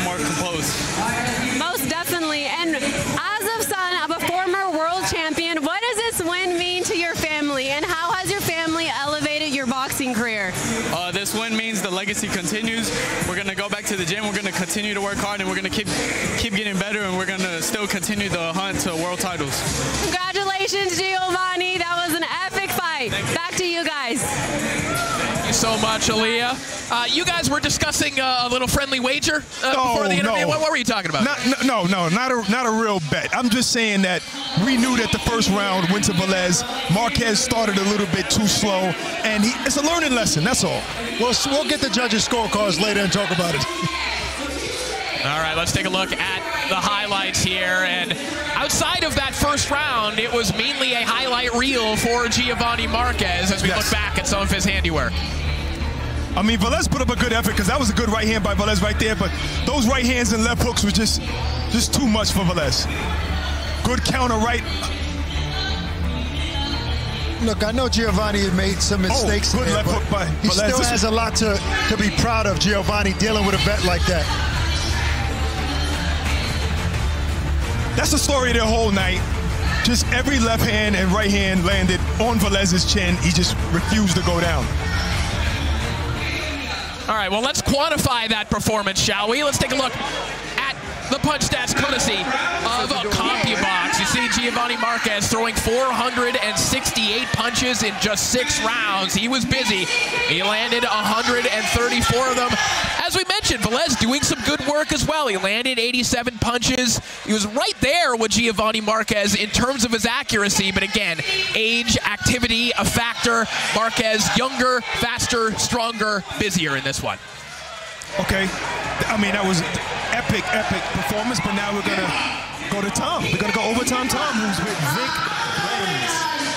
Hey, thank you, fellas. I am down here with Vic Blends, as you mentioned. Thank you for coming out. What'd you think of the fight? Oh, crazy. See to the person so different. You watch it online, you watch it on social media, but when you see somebody get punched for real, you see the blood coming, it's crazy. And you told me you, you've been into boxing for a minute. Tell me about your relationship with the sport. Yeah, I was fighting amateur boxing my senior year and a little bit after high school for a bit in Fayetteville, North Carolina, back in my hometown. And you're about, you know, in that, that range of the weight class that we just saw. If I throw you in there with Gio Marquez, how do uh, how do we do? I'm not taking no losses. Now, I, I'll never say anybody could beat me. I love it. I love it. And hey, but you are, you said you would box against an influencer. I'm going to throw some names out. You tell me who wins. All right, you ready? All right, you versus FaZe Rug. Me. I love Rug. I just saw them the other day, but me. I'll take that. You versus Bryce Hall. I'm, I'm killing Bryce Hall. That's my guy, too, but I, I ain't going out like that. All right, you versus Jake Paul. I'm going to smoke Jake Paul. Are you sure? I'm positive. All right, well, we'll just keep it going then. What about, who do you think, all right, what do you think happens in the Jake Paul versus Mike Tyson fight coming up in a little bit? Ah, man, I don't know, man. Mike Tyson, for sure, I want to see him do his thing, but I just don't think they're gonna let the legend go out like that. They can't. It- Jake Paul can't do the legend like that. I, I don't think it's right. All right, now, well, um, me and you, who wins? Back to you guys in the booth.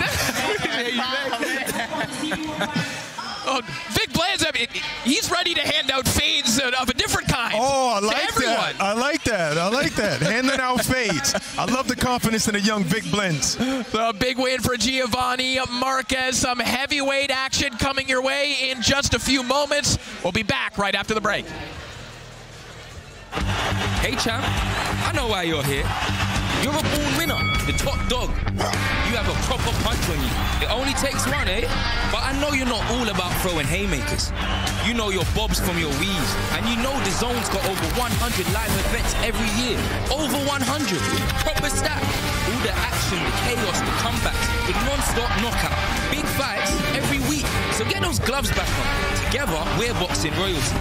The zone, undisputed. I know I'm good when that C4 hits. Hello? Because before you know it, it's another day and you gotta be ready to go. So let's All right, it is time to get the big guys in the ring. Heavyweight action coming your way. The first heavyweight fight in overtime history. The Mack truck, Dakari Scott taking on a Teddy straight out Webster. A lot of man in the ring there. You see Mack Truck at 274, Teddy Webster at 252. The 35-year-old Teddy Webster looking to spring an upset here tonight. Let's take a closer look at both of these heavyweights.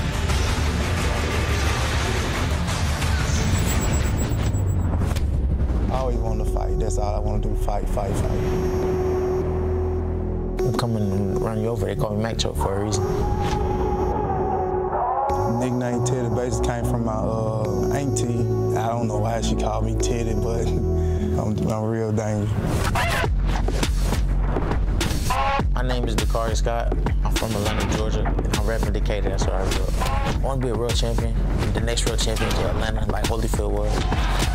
I really got to beat this guy up because he at home. I feel like some when you at home, like you already got the up. So it's a Mississippi night. I know I'm in Atlanta, but tonight it's a Mississippi night. I'm a short heavyweight, but I'm slick, hard to hit, a good jab. The punch you throw to me, I come back 10 10 hard. I like a knockout look. The goal is to win. I know I'm gonna walk out with my hands up in the air.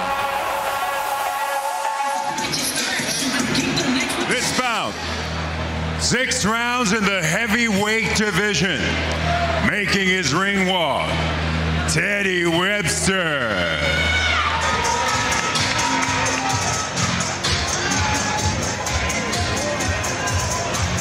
So here comes the 35-year-old Teddy Webster, nicknamed Straight Out, as in a straight out the jungle of Mississippi. Teddy Webster got into boxing to get out of fighting in the street. He said that at one point, I was just costing my family money to get me out of jail. Well, guys, not only is he going to receive a purse no matter what he does here tonight, but he's got some bonuses that he can cash in.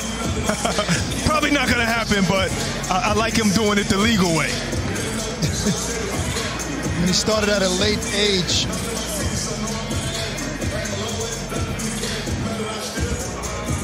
His opposition, Dakari Scott.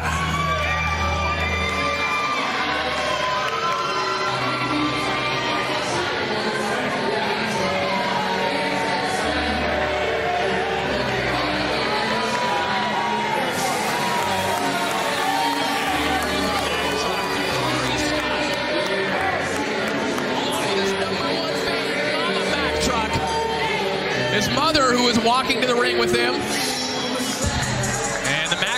Of late has been getting some good work sparring with Big Baby Miller, but also sparring with the biggest boss, Rick Ross. Yeah, listen, speaking of mama though, Corey, I'm not sure if you heard of what his mama says. The chant, mama say crack, crack. We're going to hear that tonight. And uh, apparently the, the whole crowd is going to say it. Scott family full of big personalities. And this man is a big puncher, seven knockouts in his eight victories.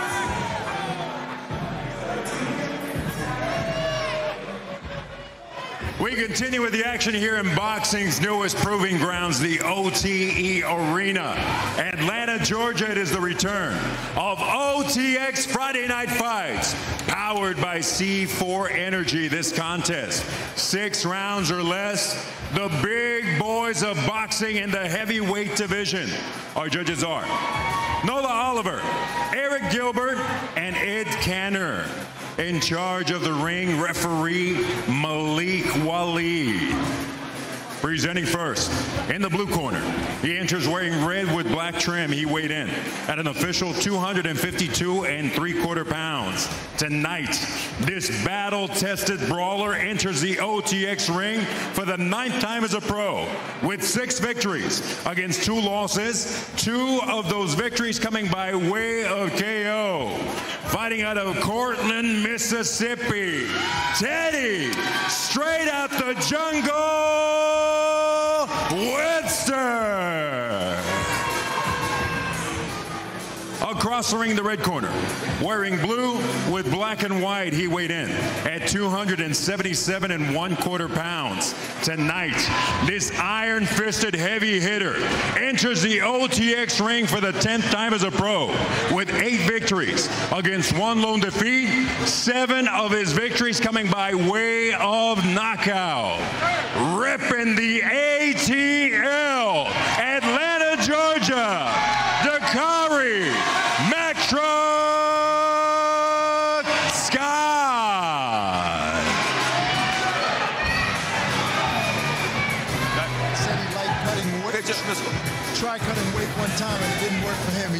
Okay, fellas, I'm expecting good, clean boxing. When I say break, stop punching, take a full step back. Remember, protect yourselves at all times. Touch them up. Good luck to you both. We are set for action here, six rounds. The Mack truck, Dakari Scott, and Teddy straight out Webster. We last saw the Mack truck scoring a fourth round TKO win over Aaron Chavers at the Atrium in Atlanta last May, so a little bit of a layoff for him. Teddy Webster, impressive in a losing outing last time out, went six rounds with top prospect Sonny Conto in Philadelphia last November. I mean, that fight with Sonny Conto was, was gru- brutal, but he stayed on his feet. He was landing every shot, Conto. Both these men have taken big steps steps up, excuse me, early in their career. Right now, Teddy Webster trying to step to the Mack truck right now, getting on the offensive early on. You see the game plan of Webster's, I got to get this guy out of here. I might not be in shape. I'm 20 pounds heavier than in my last fight. I got to get this guy out of here early. And that might be a recipe for disaster when you punch yourself out at this size. That's if Mack Truck can take his shots. It looks like he can. Mack Truck is giving off those, you know, those vibes of the old throwback fighter. Maybe Butterbean. Very comfortable in there. I I mean, obviously you can see the difference in experience, pedigree. Well, Webster had five years experience, and Mack Truck's been fighting for 16 years. Mack Truck, a participant at the 2020 Olympic trials, just 35 amateur fights, but again, during that time, working with, sparring with top amateurs, and we've mentioned some of the training camps that he's been in as of late. The only loss on his career was to Jonathan Guidry, who challenged Trevor Bryan for a version of the WBA heavyweight title a couple of years back. Frankly, probably too big of a step up for Mack Truck at that stage in his career, but credit to him for taking it. 100% credit for him for taking that, and you are well schooled, my friend. um, you know what's surprising me? The, the head movement of Mack Truck, I like it. I like it a lot. Why is this surprising you? I mean, he's an experienced boxer. Because you're in there with an inexperienced guy, and sometimes you, you tend to like But that fight at his level and, head, and just try to get him out of there. I, I tell you what. Ooh, good straight the right by talk Mack Truck. all week has been that Webster has an iron chin. And I, I, I do think that Mack Truck is going to test that today. We'll find out. Well, he certainly showed that, Barak, as you mentioned, against Sonny Conto. Yes. A legitimate top prospect in the heavyweight division, but those types of fights also stay with you. And Mack Truck is putting it on him here in the early going of round one. Ak, you alluded to the fact that Teddy Webster at one point thought about trying to work his way down to cruiserweight, but his body, his lifestyle, whatever it might have been, said, no way, I'm staying up here at heavyweight. no, I like to eat. I need my french fries and my burgers. No way. Right, and since then he's gained 50-something pounds. Look, not to mention he's 35 years old. You know this is a young man's sport. He has his mouth open already. He's, he's a little winded. But he's hanging in there. Oh, I like the body flurry. work that Mack Truck is putting in here. There's some good Sneaky shots to the overhand body. And a nice uppercut as well. Mack Truck falling off balance there, but still got that shot off. An exciting opening round from Scott and Webster. I'll tell you what, Bozy has his work cut out for him today. He's been in and out this corner all night. He still has another fighter coming up. Uh, coming up, it is our main event. A little bit later on, you see Arthur Villanueva getting taped up. This is a man who is a chess master outside of the sport of boxing. And he'll be taking on this man, the Wolf, Elijah Pierce, who had his coming out party here in Atlanta last year and has been making a lot of noise, calling out the monster. Now you're in a way getting into a back and forth with Tank Davis. He is making noise any way he can right now, but where it matters is in the ring, and we'll see him later on in our main event.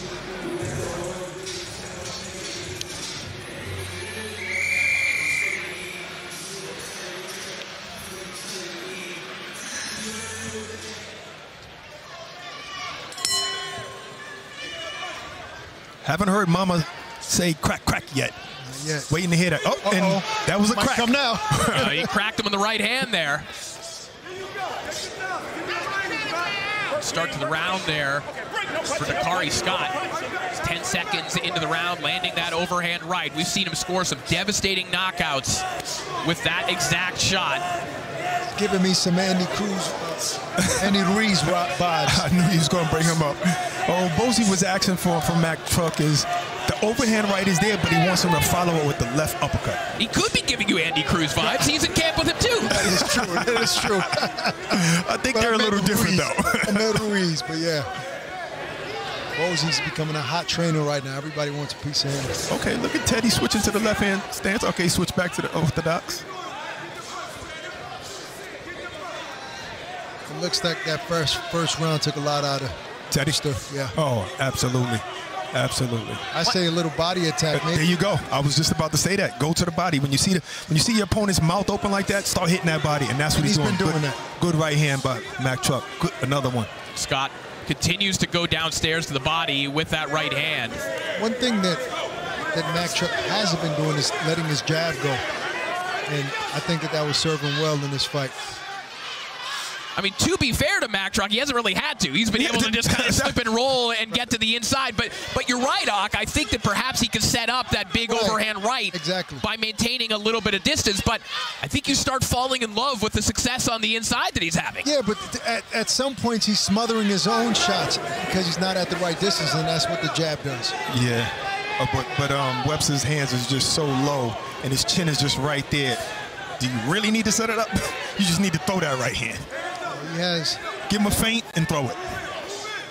Guys, I, I think that this is an instance of that potential bonus playing a factor here. I, you have to think that Teddy Webster went out the way that he did, influenced by a potential cash bonus. I, I mean, you're suggesting that maybe it could be knowing what his cardio capacity is. That could play a factor too, but I think Teddy was going for the money. I think that was on his mind as well. Nah, I just think he said, I, I'm, I'm heavy. You see how tight, he got tired in the first round. I think he said, let me see if this guy could take my shots and I can. Big overhand right there for the Mack truck. Uh-oh. Webster You know when hunched over right now. You don't like the body language right now, but you're liking it if you're a fan of Dakari Scott. Hands down. He's that's a defeated fighter right there, Webster. Um, even if he doesn't go down, I, I can I can see Mack Truck scoring to stop his victory in the next coming up Oh, seconds. Webster firing back, staying alive. It looks like he will remain in this fight.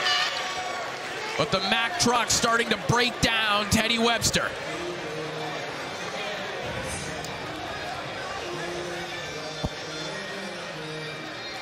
Well, coming up next, we have a battle of undefeated fighters. The OTX fighter Haven Brady Jr. 11 0 as he takes on Waldemir Kirill, the second straight undefeated fighter that Haven Brady is taking on here in this arena.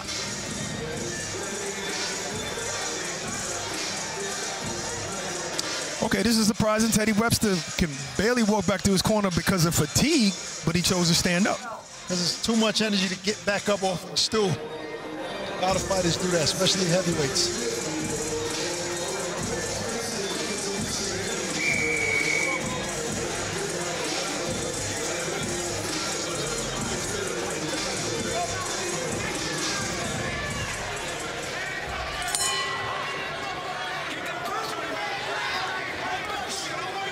Round three underway, and you hear Bozy Ennis. They want Dakari Scott right on top of Teddy Webster. They saw what we saw.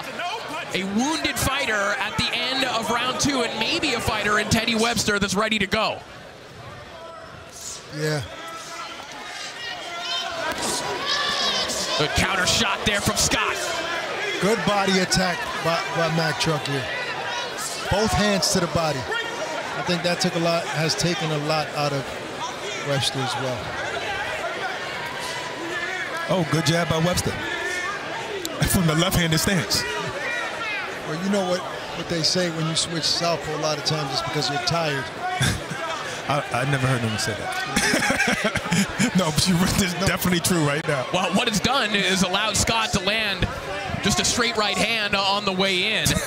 and and that's one of the risks that you take if you're turning southpaw. Are you as defensively responsible in that stance? You might look, you might like what you're seeing offensively, but right now it is not benefiting him as Scott all over him with Webster's back against the ropes, and Webster just looks absolutely exhausted. Well, he's not he's not defensively responsible from the right hand stance either. I think there's a little blood coming from around the eye of Webster as well. Hard right hand over the top. Teddy Webster just Good hanging work. in there. Good work by Mack Truck here. Webster hunched over. Big right hand again from Scott. The referee taking a close look. See the referee paying double dutch. He about to jump in there. I don't know how much Teddy Webster has left in the tank. Mack Truck has one minute left to get him out of here as he's gassed out. Oh, he's coming back. One good barrage like the Marquez fight, and this fight is over. Mack Truck also doesn't want to punch himself out, but I like how he's still going to the body, taking even more out of him. Scott with a golden opportunity to close the show here. Webster again, head down, hands down. Webster's too tired to throw punches back. He has a slight cut on his left eye. the whole crowd knew. Scott The whole just missed that one. He knew it. The crowd knew it. Can he find it right there? Hard chopping right hand, another one. The overhand right is not landing. You got to go to that left hook. Go to that body. Boom. Come back up with the left hook. My Webster just barely standing as much from exhaustion as from the punishment. Final moments here of round three and a welcome reprieve, I'm sure, for Teddy Webster. Not coming to lay down. I'm sure he wants to lay down in that corner right now, though. Take a oh. little nap, huh? Good right hook, but and left hook miss. The truck tried to set it up with the jab, but he missed with that one. That one two connected. Another one two. Oh, good Tyson. Little Mike Tyson I was thinking combo. Good thing. Tyson combo by Right Truck. to the body, followed by an uppercut. Classic combination right there.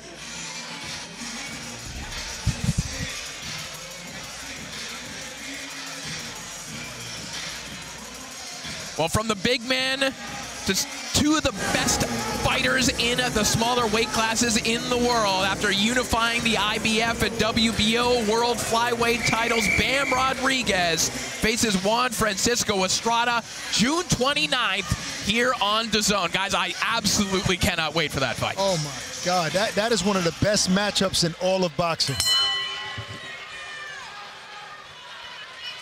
Oh, here we go with round four, and, and Teddy Webster could barely take a couple of steps out of his corner, guys. Mack Truck has three rounds. There you go. Keep, keep. Three Fight rounds back, left. Mac. Fight back. To get that Don't let him breathe. Yeah. You heard Bozy Ennis just say, oh. don't let him breathe, and down he goes. Well, you have your answer there. Teddy Webster is leaking blood right now. Go to the body. He is up at the count of eight. I guess his iron chin couldn't stand up to Mack Truck's right Do hand. what I just told you. Go. Lots go, of time for Mack Truck to work with right here. Go to the blow. Go. Hard right hand over the top. Still not afraid to engage. Teddy's trying to make a comeback. Right back. What I tell you, man. Go It's to the desperation body. time Go to the body. for Teddy Webster.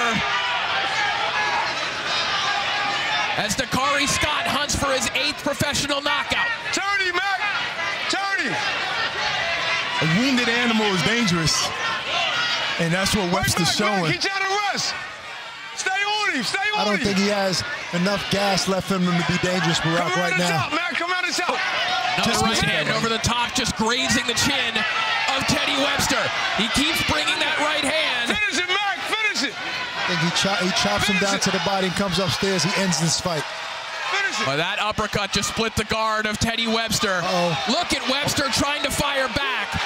Plenty of heart from Teddy Webster, but his legs are betraying him right now. Uh-oh, this ref is looking really close. Referee looking for a reason to stop this one. Keep the pressure on him, Mac. Dakari has one minute left to try to end this fight now and get a bonus, a knockout bonus.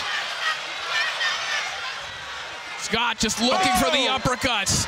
That right hand comes through once more. Okay, and the that fight is is over. it. All gas, no brakes. The Mack truck just runs through Teddy Webster. Great performance by Mack Truck. The guy that said everyone was saying all week had an iron chin, he would not be able to stop him. People were saying it was going the distance. He proved all of them wrong. We need one, one of them horn, you know, them truck horns Yeah, right now. exactly, yeah. You know, they say iron sharpens iron, but now we see also iron damages iron as well.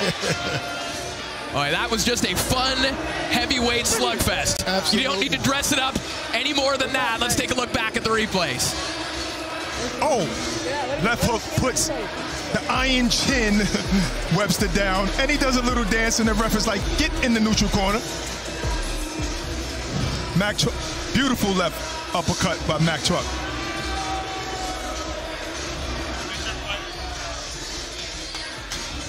Had him in the corner, just a barrage of punches. I believe he knew at this time that if I just threw a barrage and Webster's not punching back, then I'm going to get a stoppage, and that's what Mack Truck got. Can you call that photographer Great right there performance. for me? Third knockout of the night for OTX 5.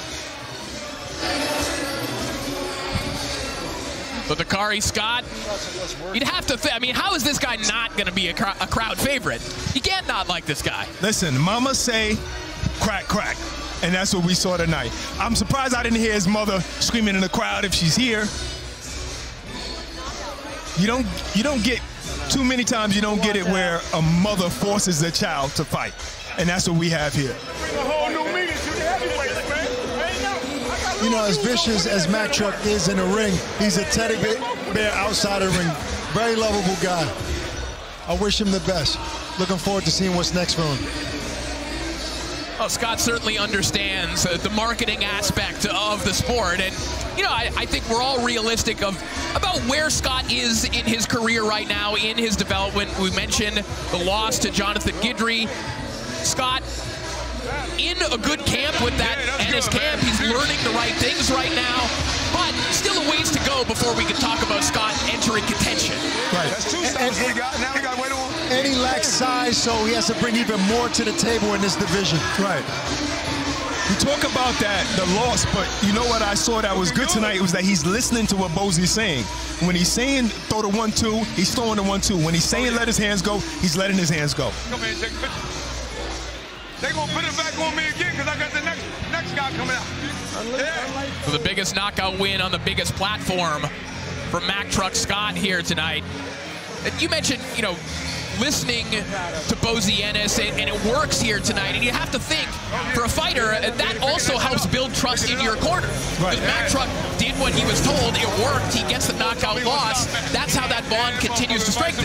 Right. You, you always want to listen to the outside eye. The outside eye sees everything. So once that trust is gained and you see success, you move forward, trusting your corner. I guess that sparring with Rick Ross really paid off. And Mack Truck did bring a crowd here tonight. Mack Truck brought the people out. Everybody tell me. Yeah, everybody tell me. Okay. All right. We'll take a picture. Oh, come on, take some pictures. We're take some pictures.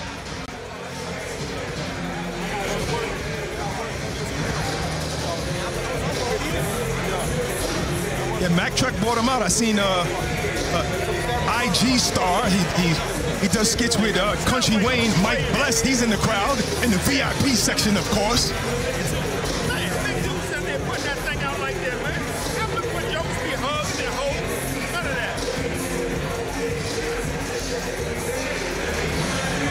Good to see Mac Here Truck and inside Teddy the Webster getting along. OTX ring, a series of unanswered blows obligates referee Malik Waleed to stop this contest with an official time of 2 minutes 11 seconds of round number 4, declaring the winner by way of technical knockout from the ATL, Dakari Mack Truck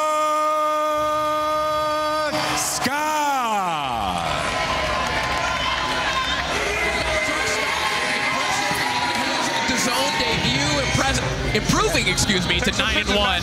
That being his eighth professional knockout. You mentioned he brought the fans out, and this is, this is the type of character, the type of guy that you could see fans getting behind as well. I, I think there's a sense of humor behind him. There's a lovable nature about him as well, and he's fun to watch in the ring. Very charismatic, yeah, absolutely. I mean, when you talk about the whole package, he brings a lot of those intangibles. Look at that smile. The boy looks like he's 15 years old. I love this All kid. right. Well, let's send it up to Aliyah Orozco, who's standing by with Mack Truck. Congratulations on your victory, Dakari. That was epic. You showed incredible skill and determination tonight. Can you walk us through your game plan coming into the fight tonight? Oh, I, I knew Teddy was tough. Uh, he ain't never been stopped before. So I told I told Britton I'm gonna be the first one to stop him. But I knew his stuff. He gonna come out hard. We gonna break him down. That's what we did.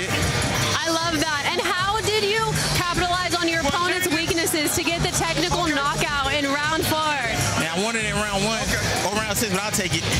I love that. And what does this mean for you to win tonight in your hometown Atlanta, especially in such a historic moment, like overtime's first ever historic bout? That's love. Uh, Atlanta home. I don't train here no more, but Atlanta's home. I'll always be home. My mom's still here, my daughter's still here, so it's all good. And any last words for the viewers watching and everyone who came out to support you tonight? I want to say shout out to my mom, my family, my Jakaria, Daddy love you, and we're gonna shout out to Faith Rescue. That's where we coming in. Congratulations, champ. Super happy for you. Back to you guys. Thank you so much, Aliyah. Big win from Mack Truck. And we're ready to take a look at the final punch stats, courtesy of CompuBox. It was a heavyweight slugfest between Scott and Webster. You see Scott throwing 289 punches. He landed 90 of them.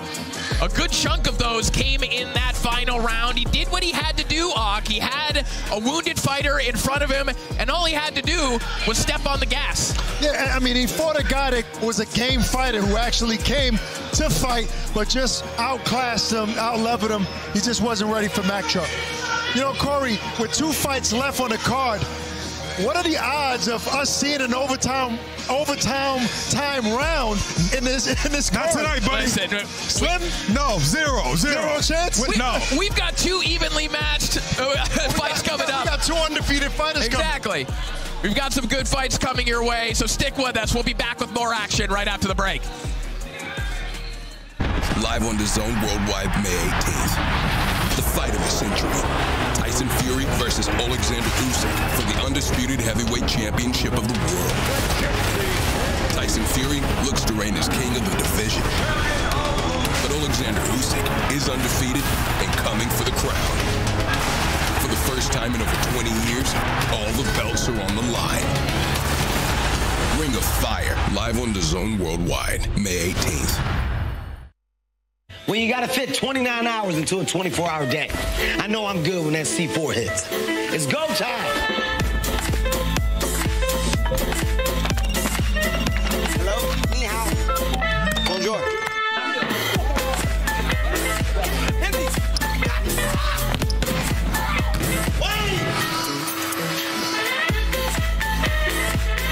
Because before you know it, it's another day and you gotta be ready to go. So let's f***ing go.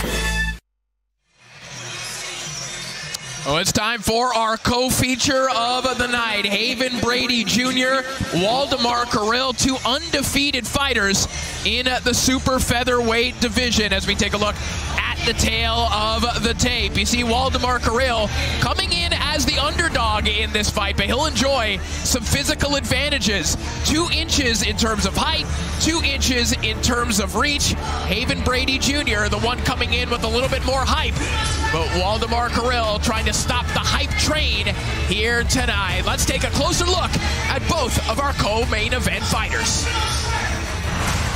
My name is Haven Brady Jr. Mi nombre es Waldemar Carril Arizaga y soy de Moca, Puerto Rico.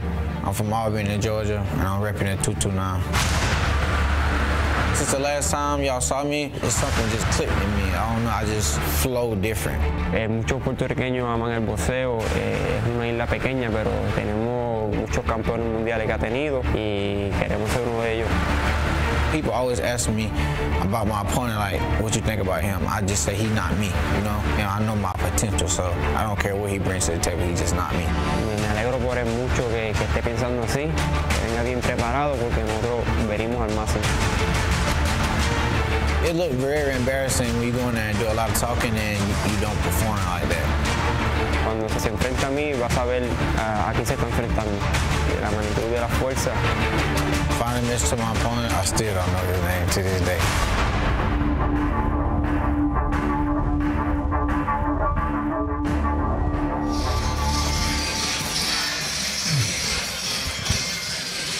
Um, Barak, you mentioned a vibe at a club.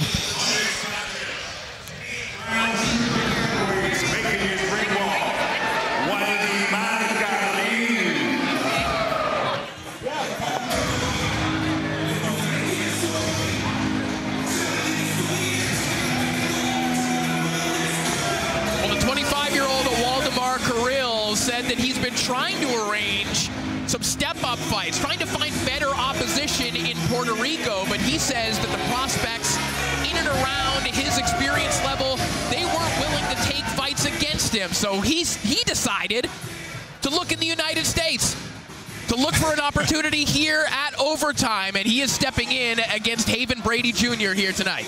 Well, when you think about Puerto Rico and the pedigree of fighters that they produce, right? You have to believe a guy that's coming in there with this level of confidence. He says, look, I'm okay with him thinking I haven't fought good opposition. He must have not heard of a little island called Puerto Rico and what they produce.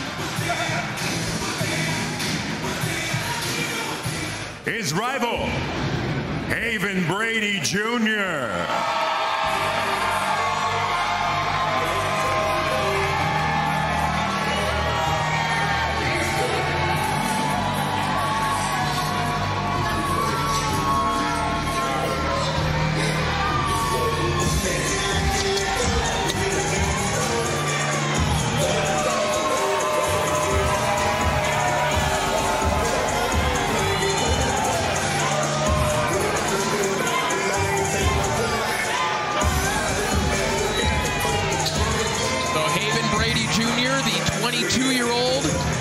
nearby Albany, Georgia, makes his way to the ring. His father, Haven Brady Sr., also walking to the ring with him here tonight. And if things had gone a different way for Haven Brady, guys, he might have been on the practice courts behind us here tonight.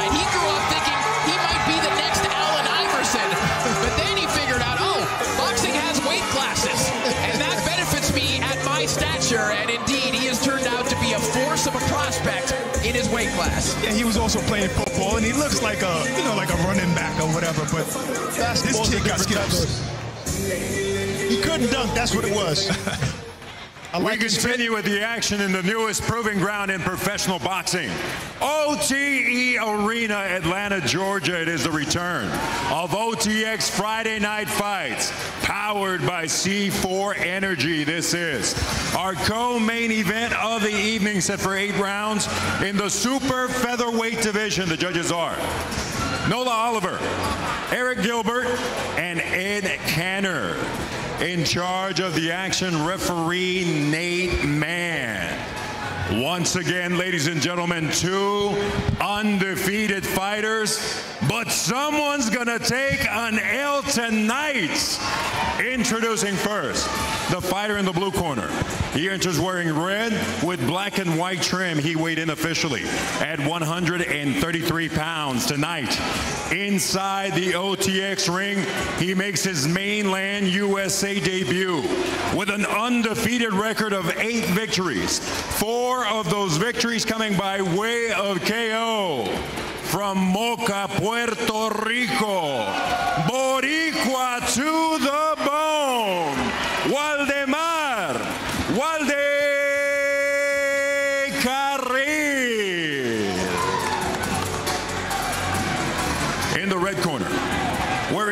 With silver trim, he weighed in at 132 and one half pounds tonight. This multi-dimensional, multi-sport athlete enters the OTX ring an undefeated pro with 11 victories. Four of his victories coming by way of knockout. Representing Albany, Georgia,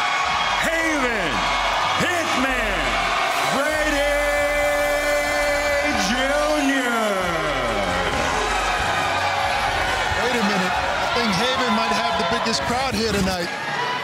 I think Georgia has the crowd. You know, All right, gentlemen, went over the rules in the dressing room. Make sure you obey my commands at all times. Make sure you protect yourself at all times. We are going to have a clean fight. If you want to touch gloves, do it now. Come out fighting. All right, back up. Let's go. You know I'm about fits, and I'm liking Haven's fit now. But what do you think about them not, not touching, gloves, there? I don't like that. I think the referee should make them touch gloves. I mean, I've seen it plenty of times. in the sport. These guys are ready to fight. What do you expect? Eight rounds in the super featherweight division. Haven Brady, the black trunks trimmed in silver. Waldemar Carril, the red trimmed in silver. Carril starting off fighting nice and tall, going to the body with the jab. And Brady's going to the body with the jab as well. He's a switch hitter.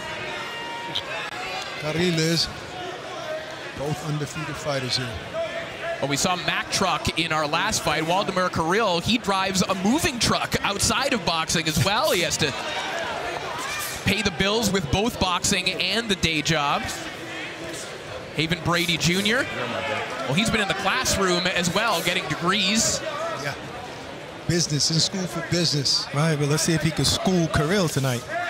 Good counter right to the body. Carril comes Uh, from a, a very deep boxing town in Moca, Puerto Rico.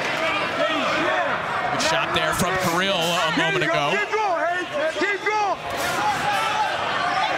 Last time out, Haven Brady scored a six-round unanimous decision over Davey Julio. That was in Philadelphia last November. Brady scored three knockdowns in that fight, but he also survived a little bit of a flash knockdown in the fourth round. So that's also what's fun about Haven Brady. There is a, a tiny bit of vulnerability because of his willingness to exchange. which is a recipe for exciting fights. Oh, the crowd Keep going. going. That was straight to the body. What do you? Good jab by Carril. Carril has. Keep that pressure on him, hey. He don't like that pressure, hey. Right hook. Right hook when he goes to the right. Right hook. You got to throw the right hook, he going to the right. Might be Right there, a little right too there. much. Right there.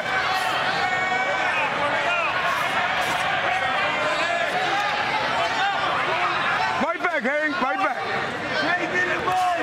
Off the D.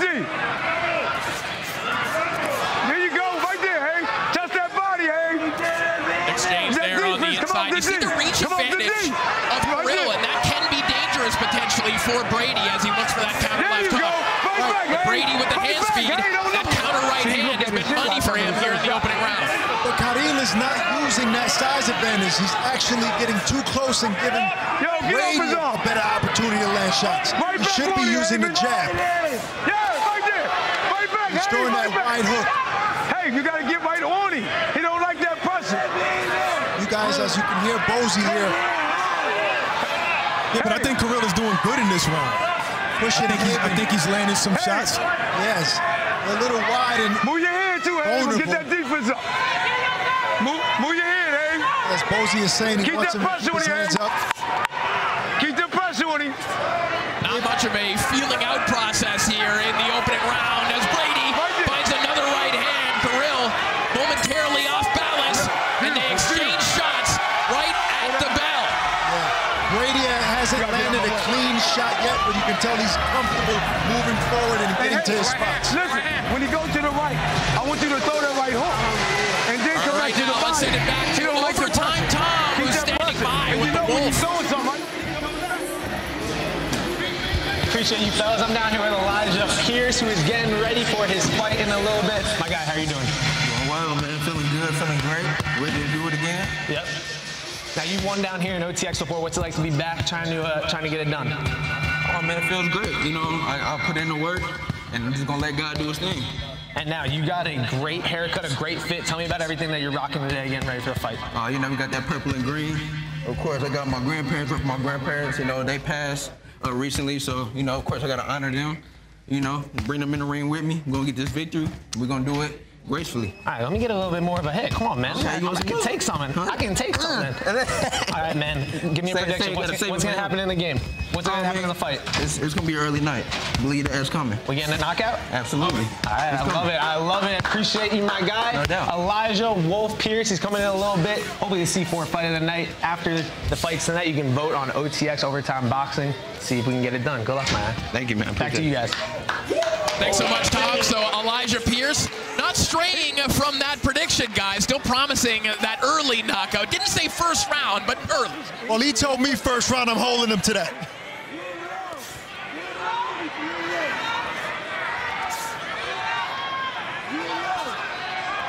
Keep going. Keep going, hey. Haven Brady back applying pressure here on Waldemar Carril. Hey, break it, break it. Right back on hey. Fight back. Well, As he said earlier, O'Shea motivated him after getting that big win, and he's ready to follow back, follow in her footsteps and get the stoppage there. He can't stand the pressure, hey. Beautiful, beautiful. Beautiful, hey. I think Brady's doing doing much better with his distance this round. That's why the right hand is connecting. Good shot to the body there from Haven Brady. Tempo picking up here in the second round. And Haven Brady is really trying to reinvent himself as a person and as an athlete. Of course, earlier in his career, he was released for, from a, a promotional contract. He missed weight a couple of times, and he kind of had that stain on him. But now he feels that he's one of the hardest working fighters in the sport, and he's trying to up the tempo in the ring to reflect that as well. I think he realized he messed up the blessing that he had fighting on other big networks, you know, and now you got that opportunity again. You're here on DAZN. You got an overtime contract. You got to you got to really show and prove. And he looks in perfect shape physically. But he's putting the work in in the gym for sure. He's walking him down nice. Good one-two by Brady. He has to work that body. I think Carril uh, feels the power. I don't know. He's a little bit more tentative with his shots. I was going to say, I think he's feeling the power. I think he's feeling the pressure as well. Carril seems out of ideas right now offensively. And he hasn't figured out how to use his size. He's obviously way taller, longer, longer reach, and not using the jab at all, not keeping Brady at distance. He's playing right into his style.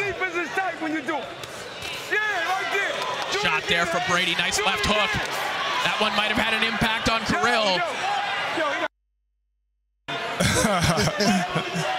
Bozy wants the referee to take a point. Uh, not yet, Excuse not yet. Language there. Just a little rough housing. That's all right. There you go. Missed the big shot. Carril just missed the big right hand. Uh, we will follow Waldemar Carril into his corner. And earlier on this week, we asked Carril about his upbringing in Puerto Rico. Tuvimos hasta 17 y tuve eh, malas amistades, tomé malas decisiones en el camino y estuve retirado del boxeo cuatro años, pero gracias a Dios volvimos de nuevo a recaer dentro del deporte y aprendí muchísimo, me hizo madurar y aquí estamos dedicándonos fuertemente para seguir los objetivos.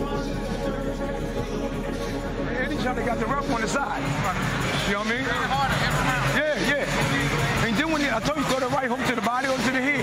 Double it sometimes. Look. Double it sometimes. Yup.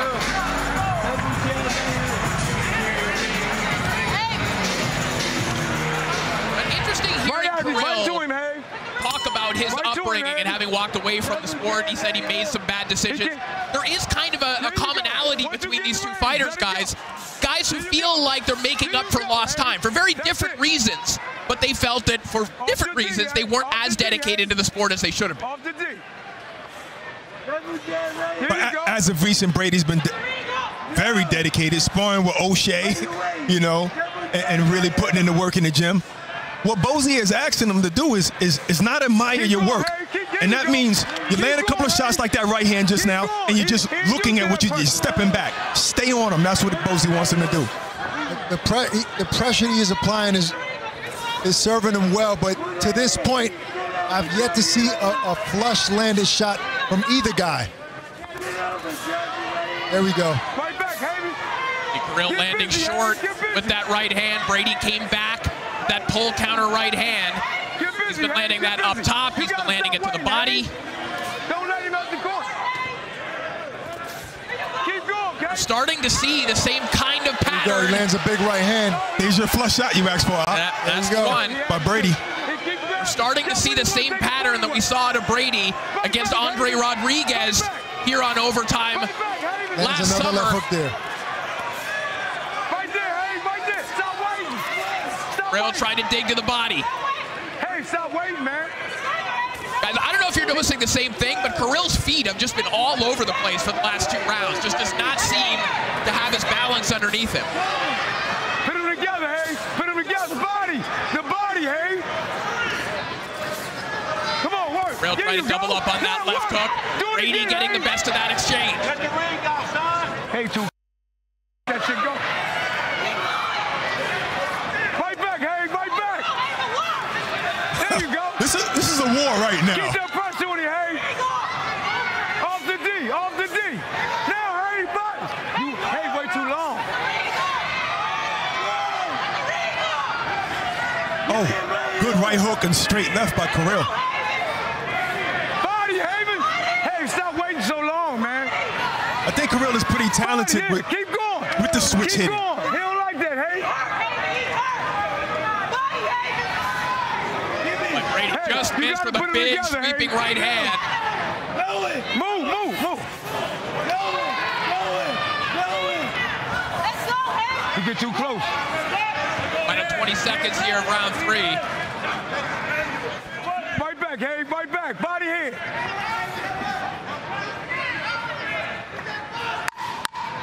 Great right hand by Brady right there. And look, Carril returns with a straight left hand. This is a great fight. Flurry there from oh. Brady. Two chopping right hands right at the bell. Hey, hey, listen, man. You gotta stop waiting, hey. You gotta stop hating. Yo, you gotta stop waiting. You had him in the corner. Yo, you waiting and try to set your shot. Let the hands go. You gotta let your hands go, man. You can get him out there. He grab you. You gotta fake sometimes. And sometimes you're throwing your punches, you're slugging your shots. in the arena just Brandon gets me out. So I love that. I love fighting in Atlanta. I love my family, my friends, and people that follow me that I don't even know come out and support me. It just gives me so much faith, and um, I just want you want to give them a good show.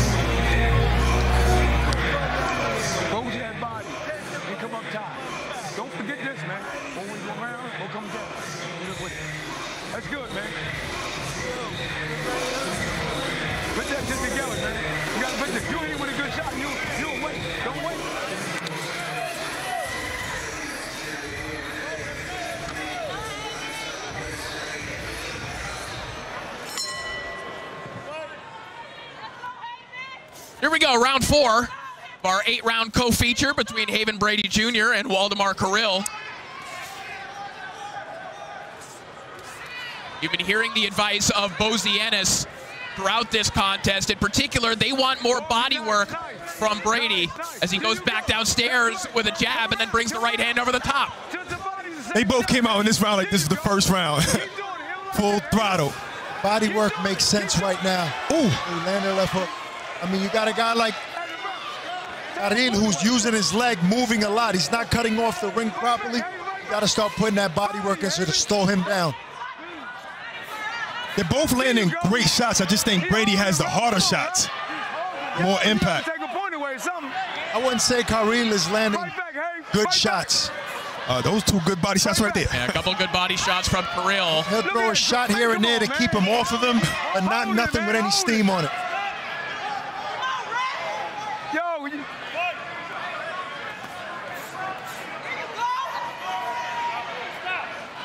Man, this boy holding like a mug, man. Yo, come on, man. Yeah, and now I agree with Bozy. Maybe the refs should start saying, okay, stop holding. Stop holding to Corell. One thing to keep in mind, too, guys, Carril's never had to make the full 130-pound limit before tonight, so you have to wonder at one point. Protect yourself at all times. On his body, and let's see what the official will have to say about this. Yo, you gotta take a point away or something, man. So it's so loud in here, I didn't even hear if the referee told him to stop. Oh, man. Right to it, hey. Move in on it, hey. Move in. Move in to the body, hey. Body. Body. Haven Brady now on top of Waldemar Carril. Yo, bro. Yo, what do you... He's He might holding be on a little too much. He might be a little bit annoyed by what just happened right oh, now. A hundred percent he is. He's really trying to get Carril out of here. The body, hey. The only thing he's mi- he's missing a lot of shots. I think he need to go back to the jab to set up these shots. Yep. Especially from that range right there. Shoot the jab first. He's landing the left hook from time to time, but he needs to go downstairs to slow Karin down. Karin Carril is still work up the fighting middle back. there. Sorry, go ahead, Doc. No, I mean Karin is still fighting back, and he's he's throwing combinations, but no, no mustard on any of that. It's not slowing Haven down at all. Carril trying to get back downstairs to the body. Brady comes over the top with another nice right hand and one to the body right at the bell. When you gonna take Halfway through this fight.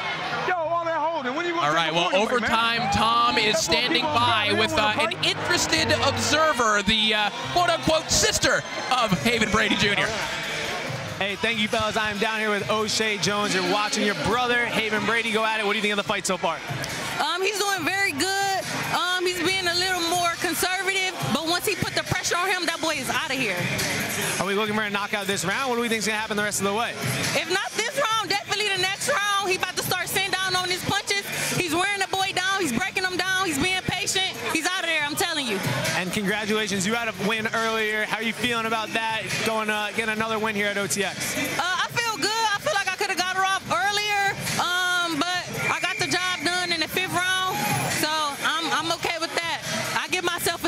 plus. A C plus, a tough grader. Now, I hear a lot of people complaining about the holding of the opponent here on Haven. What do you think about that? Yeah, I think it's ridiculous. He's been holding probably like 10 seconds every time he holds, and the ref's not saying anything. Hopefully, the ref can can see it this round.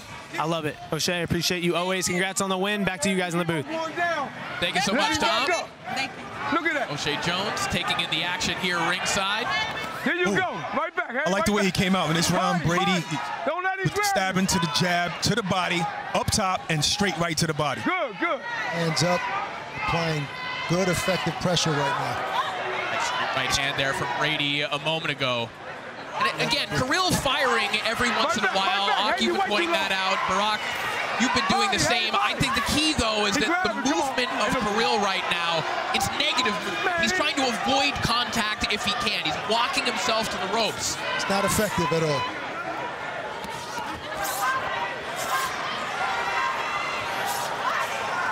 Nowhere to hide in this 18 by 18 ring. at Here this, at look at this, man. Overtime Boxing, a little bit smaller than many commissions would have. They It need was another ref approved by the Georgia Commission. You'll see an 18 by 18 ring every once in a while, in but it certainly does induce more action. We're seeing it right here. You have a mover like Carril who just is not able to enact any kind of a game plan right now.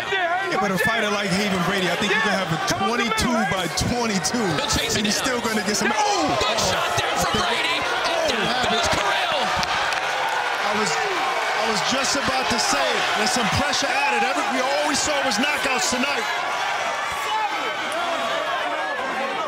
All it took was a flush right hand from Brady. The hitman looking to finish the job here in the fifth round.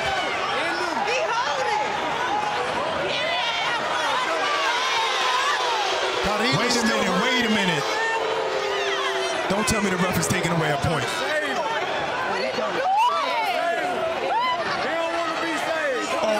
He's not away a point. What is going on? I don't think he's taking away a point, but no, the back of the head. He, but that Brady hit not an intentional- It definitely wasn't intentional, but he's.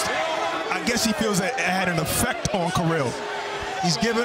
I don't. I'm not sure if I like this, guys. That was that shot wasn't that far behind the head. It was not intentional. It was in the middle of an exchange. You're giving a guy time to rest here. I don't like it. Well, again, this is something you won't see in other jurisdictions. The doctor being able to get in the ring during the fight to examine a fighter who, in this case, has been hit behind the head. I've never seen that before. It almost made me think the fight was over. I didn't like that. Not at all. He was hurt from the right hand that dropped him earlier. In that exchange, it was on the side of the head. It wasn't an intentional. And, and it wasn't the first time, neither from neither fighter. You know, it happens. Right. You know. and two things are going on. Is there excessive holding? Yes. Has that probably contributed to Haven Brady hitting him behind the head? One hundred percent. Let's take a look at it I've never here. seen anything like this. You just gave a fighter too much That time right to hand was- from that right hand. Was flush on the chin and sends Carril down.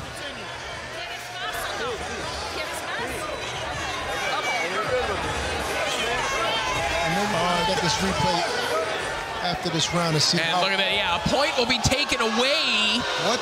from Haven Brady in a No round warning? where he'd scored a knockout and Frank, excuse me, a knockdown and looked like he could be heading towards a knockout victory. Now has that point snatched back. Let's see what Haven Brady will do about it.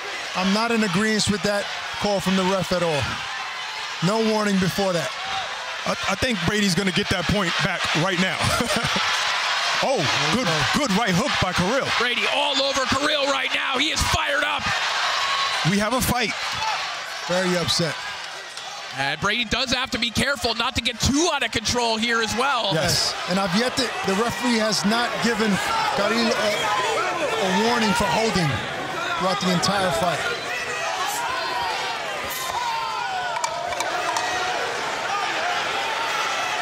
Maybe the ref is a little tired. He's been refing several fights tonight.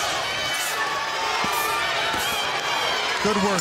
An entertaining but absolutely bizarre round of boxing there. No, I, I don't. Very bizarre. I mean, you don't you don't take away a point if it's not intentional like that. And it was the first time. There was no warning. Yeah, first time for an intentional. All right, let's, Unintentional let's take shot. a look back at it right Yeah. here. No, come on.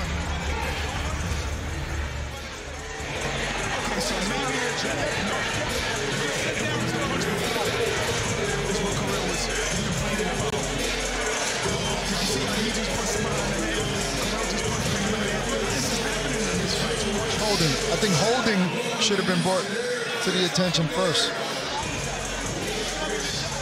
I think the referee was more upset as when he tried to stop them. Brady threw another punch, but it barely landed, and it was momentum, I believe. Barely landed. Barely. It wasn't a hard shot at all. You still heard from the right hand prior to that. Correct.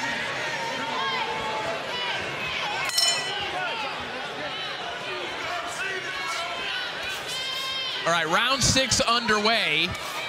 Haven Brady Jr. and Waldemar Carril, a really messy round last time out. He lands a right hand, Carril. All right, we're going to see if we can check in with Bozy Ennis. Hey, Bozy, you've been complaining about the holding for some rounds now. What did you think about what happened last round? All right, we'll see if we can check in with him later. I would have Bye. scored that a knockdown. Uh, Let's see. That was a knockdown. Oh, okay. Will not be Okay. scored a knockdown. Bozy's a little too focused right now. Understandably so. and He Oh, look at a this. sh- ups. again, it, He landed a shot, and from, from my vantage point, it looked like a knockdown, but we'll see the replay later. Can we take a point away from from here? Because this is too much holding. Yeah. Let's take a point away from the ref. Well, another issue is the referee's got in the way a couple of times here, and- and I think that I mean, he's not that agile. You know, he's not that agile. All right, well, constant pressure by Haven. Sometimes a little too close where he's smothering his own shots, but I think Carril's holding has a lot to do with it. Carril now back against the ropes, trying to work from the southpaw stance and get out of danger, but he just got clubbed with a nice left hook. Again, I need to see a little bit more body attack by Haven.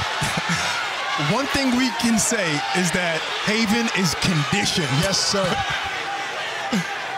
No question. And like you said earlier, Ak, he just needs to cut off the ring. Don't just chase him, because you're getting to him quickly, but you're chasing him instead of. So you have to take more steps to get to him rather than cutting off the ring and take less steps, less energy, and you get there faster. Well, Carril might be in a little bit of trouble. A couple of these left hooks Another have him in a little bit of danger, and that is it. The Okay. Hitman finishes the job. I think that's a little makeup call from the ref. In other words, it didn't look like it really should have been stopped. Not at the that ref point. was like, all right. Yeah. I messed up a couple of times there, taking a point off. Let me end this fight. Good, solid performance by Haven. A little messy fight, Corey, to your point.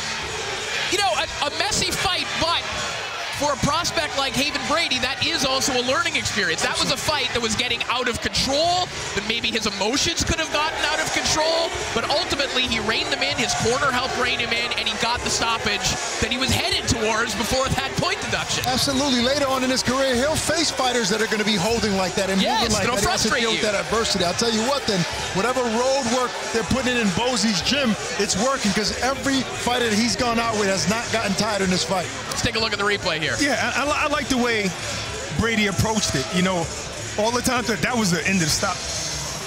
That was the stoppage. A little premature.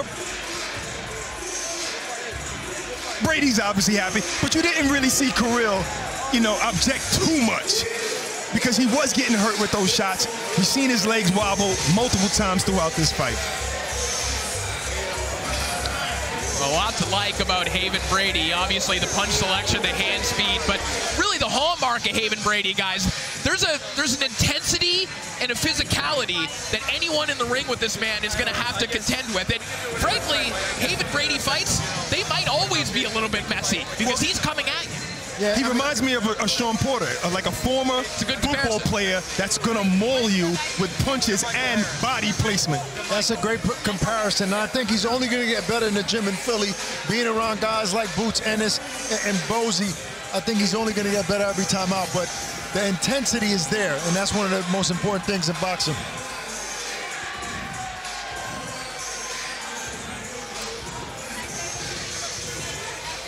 Bozy had a good night tonight.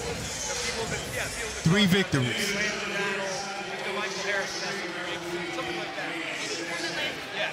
Contest with an official time of 1 minute 59 seconds of round number six. Declaring the winner by way of TKO. Still undefeated.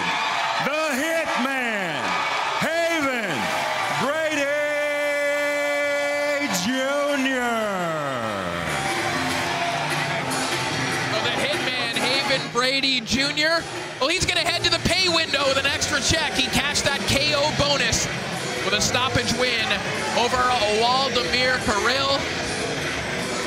I haven't gone to distance one time tonight yet. Everybody. Yeah, one. All right, Aliyah Orozco is standing by with the hitman. Congratulations, that was such an intense fight.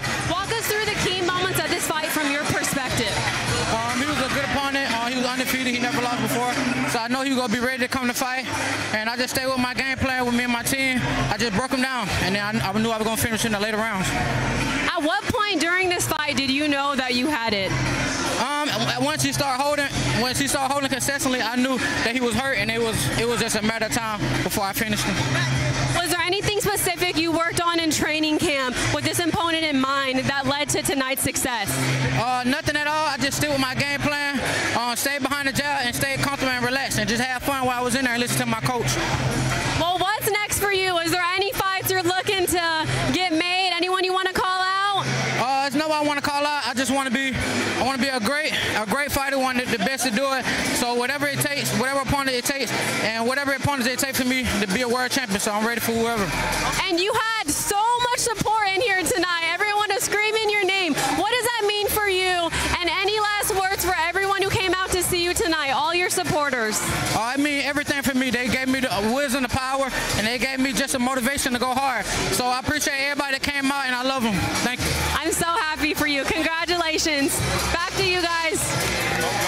so much, Aliyah.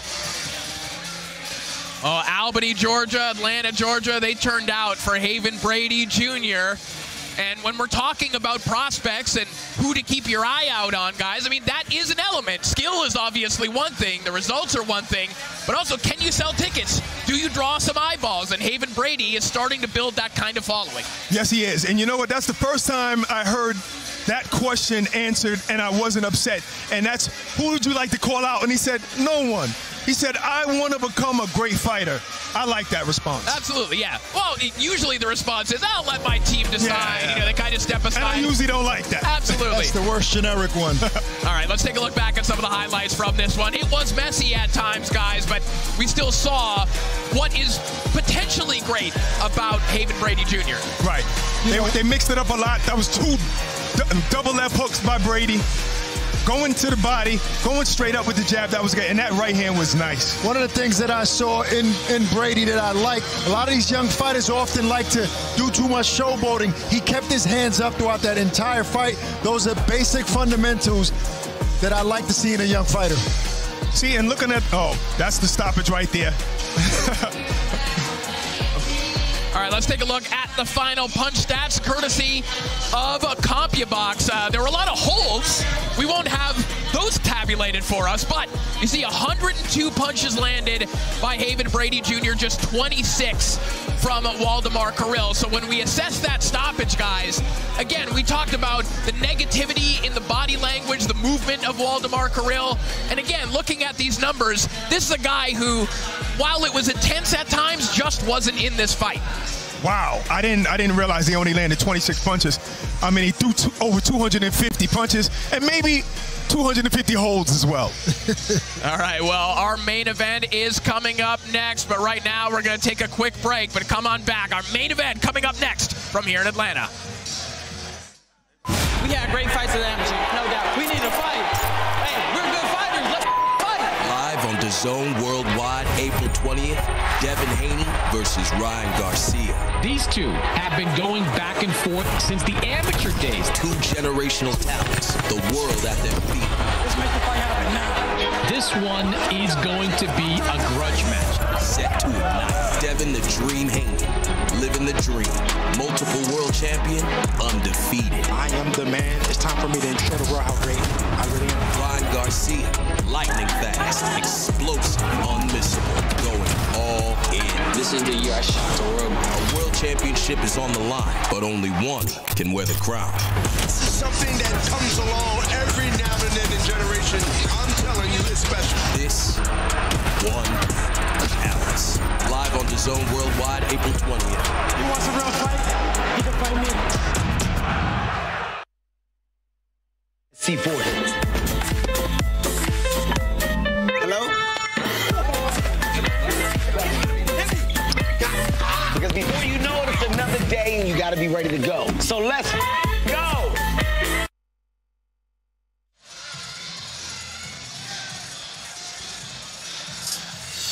What's going on, fight fans? It's your boy Ak. And I'm Barak the Boxing Bully. We're in this recording studio for a reason.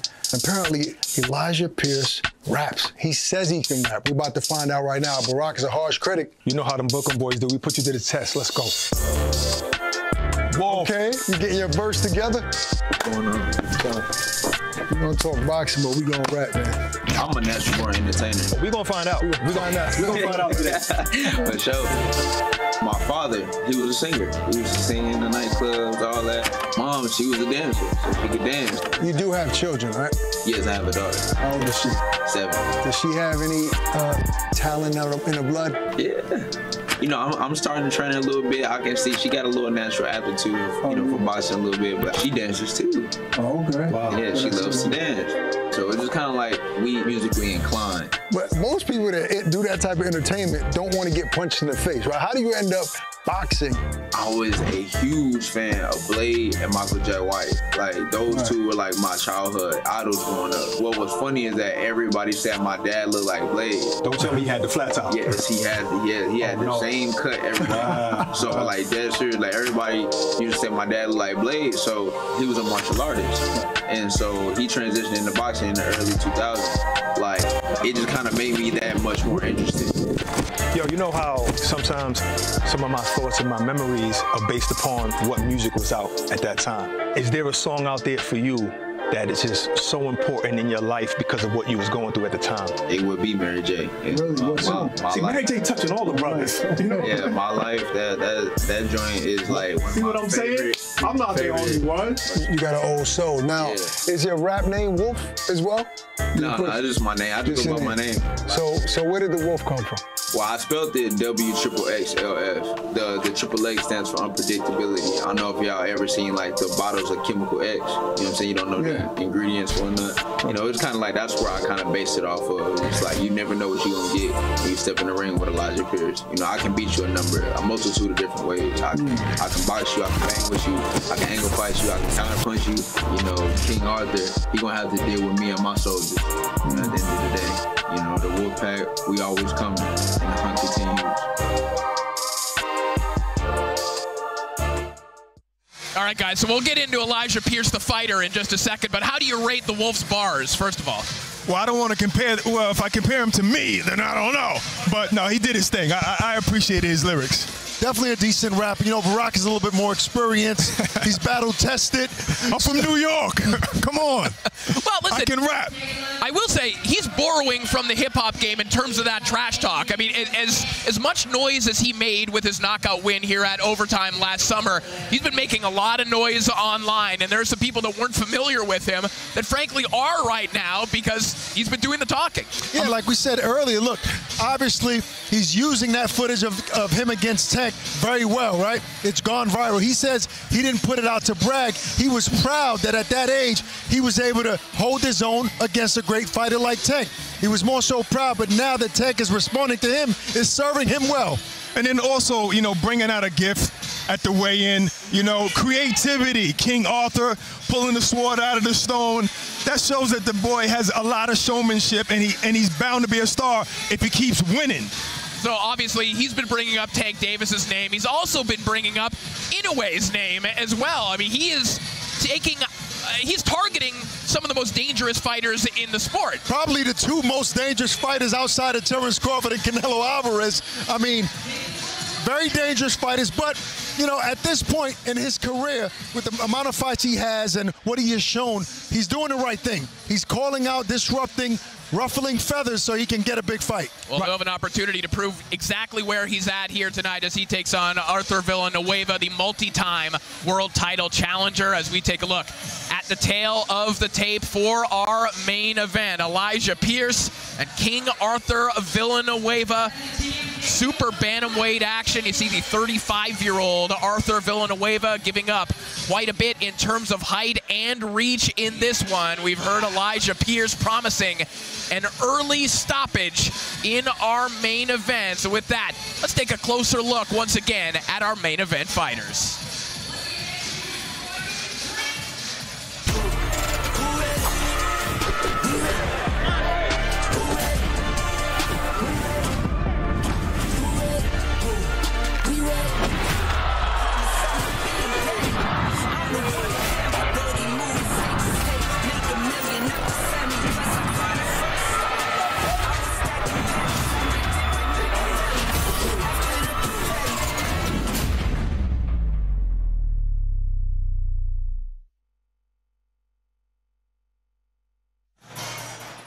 We welcome our final bout of the evening entering the arena, Arthur Villanueva.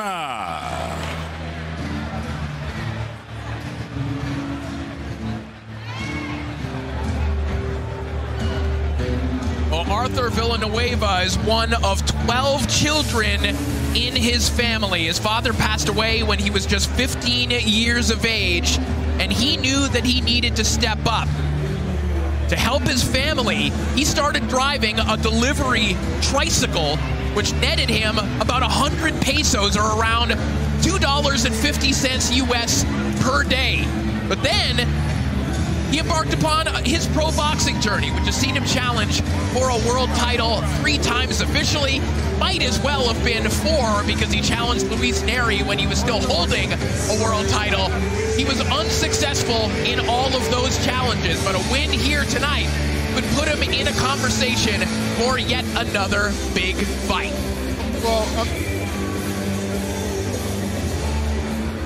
His counterpart, Elijah Pierce.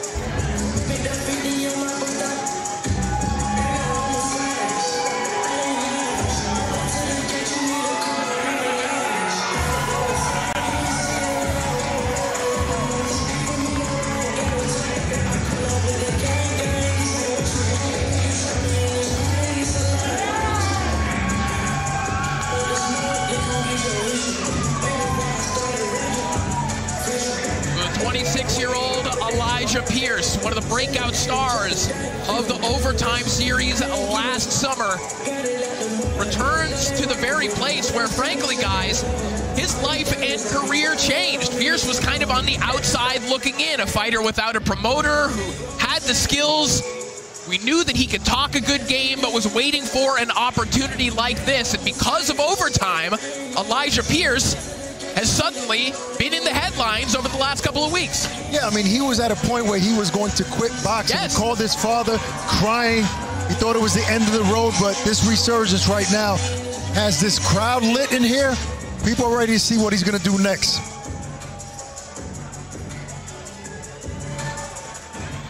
We continue on boxing's newest proving ground, OTE Arena, Atlanta, Georgia. This bout, eight round super bantamweight division. It is the return of OTX Friday Night Fights, powered by C4 Energy. Our officials at ringside scoring this bout. Nola Oliver, Eric Gilbert, and Ed Canner. At the sound of the bell, the men in charge of the ring, referee Malik Waleed. Now, ladies and gentlemen, prepare to be entertained. The OTX main event starts now. Presenting first, fighter in the blue corner. He enters the ring wearing blue with white and gold trim. He weighed in officially at 122 and three quarter pounds. Tonight, this two-time world title challenger enters the OTX ring in his 41st professional bout with 35 victories against four losses, one bout even, 20 of those victories coming by way of KO. From Bago City, the Philippines, King Arthur Villanueva. His opposition the red corner.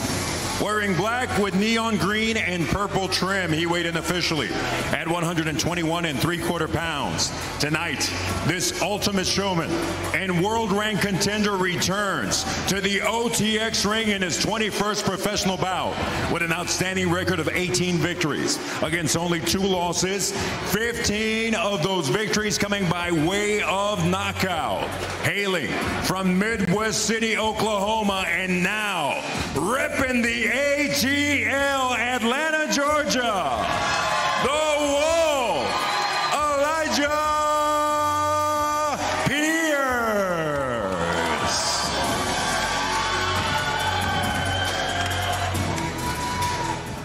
Okay, bring it in.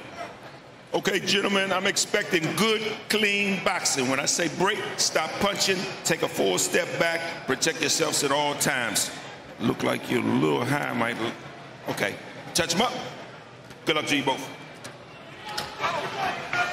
It is time for our main event. Can Elijah Pierce turn in another head-turning performance here at the OTE Arena like he did against Mike Plania last time out? Or can another Filipino fighter in Arthur Villanueva spring the upset here tonight? Round one scheduled for eight.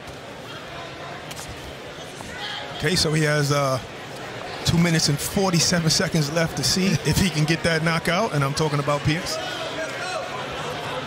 And it's funny, Villanueva, one of his favorite fighters is Tito Trinidad from Puerto Rico. He talked about loving his style. Look, uh, Pierce has his work cut out for him today. You know, we spoke about Inoue, you know, as the possible opponent for Pierce, but Villanueva spends some time with Inoue sparring him. Straight left hand there from Pierce. Ring Magazine's number nine rated 122 pounder in the world. Pierce very much one of the 10 best on the planet in his weight class. Ooh, good defense by Pierce. Good Hard body shot to the body there from Pierce. Big left hand. Pierce Looks like he might really bringing the pressure here in the opening round.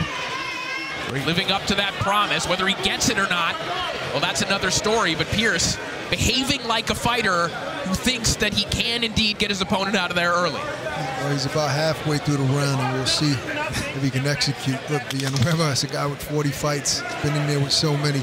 Barak, you mentioned Inoue. He talked about a South African fighter that is. Uh-oh. A little capoeira in there by Pierce. The fighter you Oh, just good referenced fighter. there is Zolani Tete. Yeah, he said that was the best fighter he's ever been in. Yes. One of the three official world title fights Have to counter your that Villanueva has been involved in. Good. Good left hand. Nice left hand over the top. Run him quick. Run I him mean, quick. Pierce defense is on point, and he's beating Villanueva to, to the point every time. Really sinks You can hear that one. Careful with that left hook. Villanueva just landed there. I think Pierce is finished with being slick. He's like he felt his shots and said, "You know what? I'm going to walk you down, and I'm going to try and get get you out of there." Well, we talked about Push straight fighters left. punching themselves out early, so we, we don't want to see that from Get your Pierce. rhythm. Get your rhythm. Get your rhythm. Oh, nice, nice right hand by Villanueva. Yeah, he could be dangerous with that shot, Barak. We saw a lot of knockouts from Villanueva on his way up. On those Pinoy Power pay-per-views on Box Azteca, scored a lot of highlight reel knockouts, and have to think that that power hasn't fully left him, even at 35 years of age. Just Pierce seems like the stronger fighter. Yeah, and I just love the way he's defensive minded, even though he's pushing Villanueva back. Looks like he filled in well after the weigh-in. Oh, oh yeah. Villanueva landed a few good body shots in that first round, but obviously Pierce controlled the round.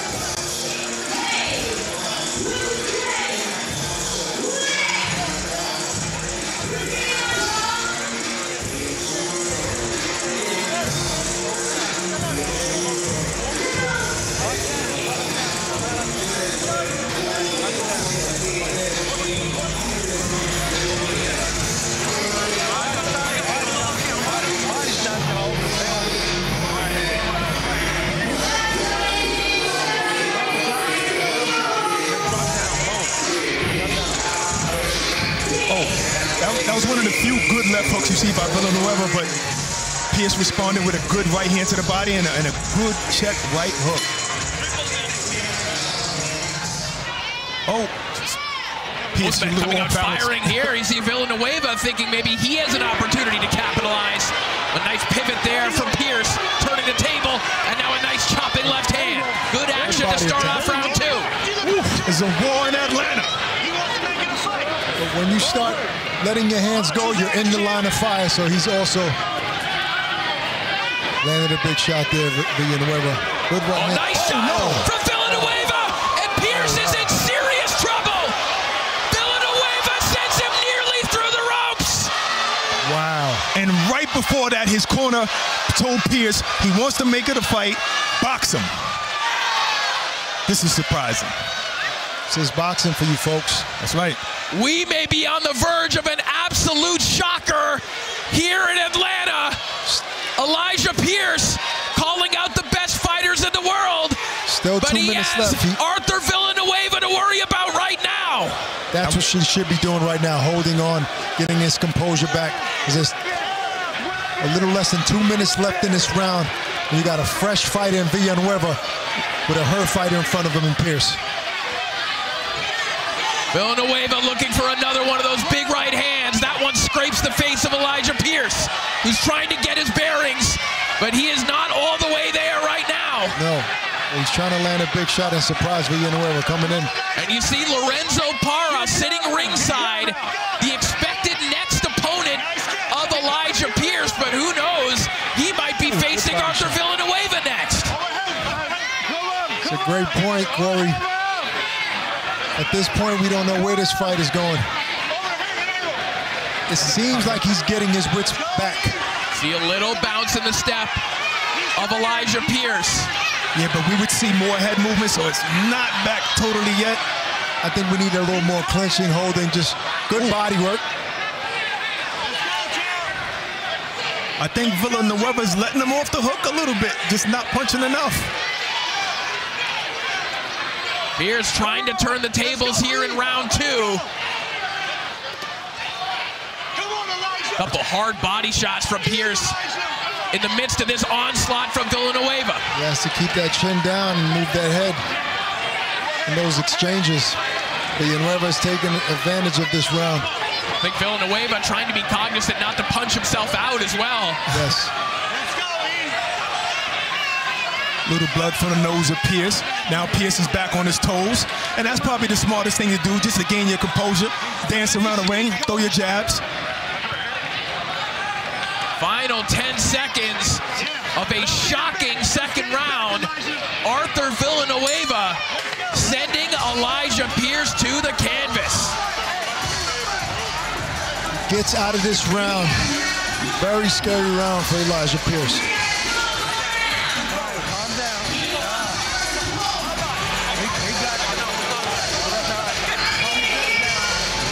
He's definitely the slicker boxer, but defensively made a big mistake and got caught with that right hand. All right, let's see how he set it up now. Villanueva missed with the with the left hand, oh, but he caught him with caught him with the right hand twice. Right on the temple, messes up the equilibrium, and down went Pierce. Yeah, but before that, the right hand that hurt him. It was an almost that we haven't seen yet. Almost in the lap of a judge. almost, almost kicked a card out of her hand.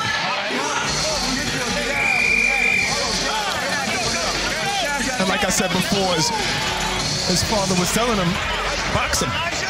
Well, the corner of Arthur Villanueva was absolutely losing it, telling their fighter to go get him, go finish this fight. Yes. Elijah Pierce coming out firing here in round three. With his hands up this time. Smart decision.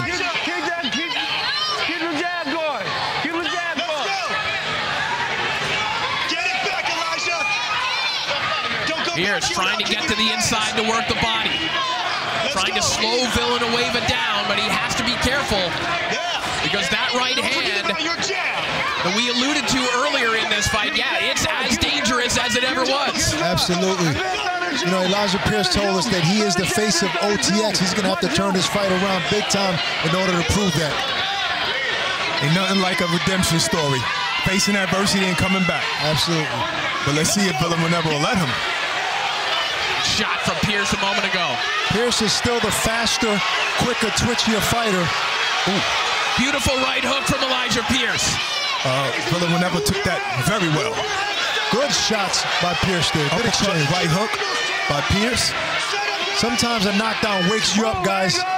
Looks like a little bit of swelling starting to develop outside the left eye of Arthur Villanueva, maybe from one of those Oh, right good left hooks. hand by Pierce. And another one. He's putting his punches together very well right now, Corey. Pierce is not being cautious at all here. He's trying to get that knockdown back and more. But he's still being defensive in those exchanges, using his shoulder roll, keeping his hands up. He's being smart right now. Smart attack. Pierce is winding up with that body shot a moment ago. I like the body attack by Pierce. Seems like Villanueva was taking some time off. Yeah, Villanueva standing still for a moment here. You have to wonder if those body shots have already taken their effect. But again, you got to be careful. Those ambushes, those explosions from Villanueva with the right hand, they can still be dangerous. Absolutely. And I think he's just paying possum. You know, I, I think Pierce is hitting sitting down on his shots, landing hard shots, but it's not really affecting him upstairs. That's why he needs to go, continue to go downstairs, Barak. And he needs to box him. He, doesn't have to stand inside and trade. Box him, soften him up a little bit before you start doing this. If you see that he can take your hardest shots. You got to remember, this guy's been in there with some of the best fighters in the world in sparring. So much experience from that Villanueva team. This body work from Pierce this round has been absolutely brutal, and it might have changed the momentum of this fight. Yes, indeed. Putting the combinations together, he has to be very careful. Villanueva still possesses power. 20 knockouts out of his 35 fights, 35 wins. Boy, what a bounce back round for the Wolf, Elijah Pierce. Wow.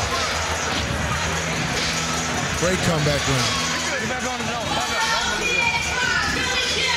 One thing we... Here goes the combination right there. Right uppercut, right hook. Oh, good left uppercut by Pierce. Nice body shot followed by... He walked him down. I mean... Yeah, walked him down. All right, so here's Lorenzo Parra sitting ringside. Some additional context here. We mentioned Parra, the expected next opponent for Elijah Pierce. He signed a contract to face Pierce at OTX 8. Lorenzo Parra, also the only fighter to have ever gone to an overtime round and was victorious in our first iteration of overtime boxing. You see the look on his face.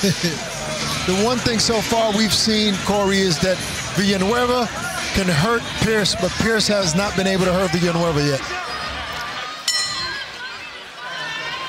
Well, we haven't seen Villanueva you know, overtly hurt, but I think we definitely saw Villanueva slow down in that round. I think we saw the impact of those body shots, and we're seeing the swelling around the eye of Villanueva intensify as well. Absolutely. Great body attack last round by Pierce, and he's obviously landing that right hook. Big right there hook there from Pierce. I think that hurt Villanueva slightly. I don't I don't Oh, think nice so. It Pivot there from Pierce. A nice right hook. I mean, he I mean, he's shifted still him. The, fresh, shot- don't- the shots are so hard. He's shifting Villanueva, but I don't see him Still hurt. I don't. I don't see his knees buckling yet. Yeah, he's not hurt hurt the way Pierce was, but Pierce right now is controlling his fight. He needs to be very careful. He knows that right hand can hurt him. And what he's doing now is angles. Staying out of the way of Villanueva's shots and landing his h- shots very harshly. This is a very good fight, fellas. Competitive. Action-packed main event here in Atlanta, Georgia. Elijah Pierce now making his fighting home here in Atlanta. Great left hand. A lot at stake, Corey, like as you said. He has the Shot pressure. the body from Villanueva a moment ago, but Pierce gets it right back with a beautiful uppercut downstairs. You know, Pierce is showing that he can dominate from the outside with the, the double jab, straight left, and on the inside. Like that. Definitely the more skilled fighter here, but this is a very competitive fight. Elijah has a fight waiting for him in OTX. Oh, three good shots from Villanueva. Pierce's corner warning him, keep your hands up, keep your hands up. Pierce can't get complacent here, even though he's been doing the bulk of the work for the last two rounds. If he keeps landing that right jab and right hook, he's going to shut Villanueva's eye completely in the next two rounds. It's almost there. Nice left hand down the middle, and down goes Okay. Villanueva. That answers that question. Can Pierce hurt Villanueva? Yes. The tables have turned here in the main event. Both men trading knockdowns, but you wonder if the pendulum has now swung permanently in the favor of Elijah Pierce, who's looking to end this one in the fourth round. And Villanueva still swinging back in the face of adversity. But I think this fight ends here, folks. Villanueva just getting busted up right now. He might get out of this round. 10 seconds left. Pierce all over Villanueva. Oh, it's a it's race over. against the It's clock. over. And It's he over. will win it. The Wolf captures his prey in the main event. Spectacular knockout by Elijah Pierce. I think he close the show. I think he pierced the armor of King Arthur. That's what he did. Well played. Well done. Came back from off the canvas. Stop this man. Beautiful respect right there between the two fighters. We love to see that sportsmanship. Well, that was a four-round war. Uh-huh. You could not ask for more than that. Drama here in Atlanta at OTX 5. Atlanta, are we not entertained? Everybody seems like they got their money's worth tonight. Elijah Pierce with absolutely everything hanging in the balance. Had to muster up the courage and the heart to do this. A come from behind, a comeback knockout victory. Check it out.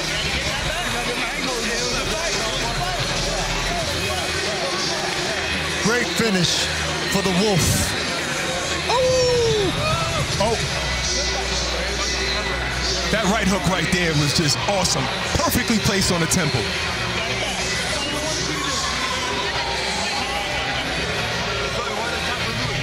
Strong right uppercut and just a barrage of punches and a couple of them landed flush and the referee said that's it.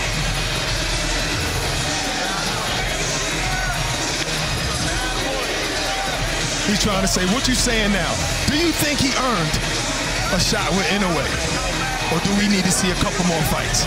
I mean, listen, In- Inoue is imminently busy with Luis Nery, and there are a lot of good fighters at 122. And Elijah I Pierce, agree. he has a date with Lorenzo Parra first, but this is just a continuation, I would think, of the buzz that Elijah Pierce is building. And this is one of those wins, guys, that one way or another gets people talking.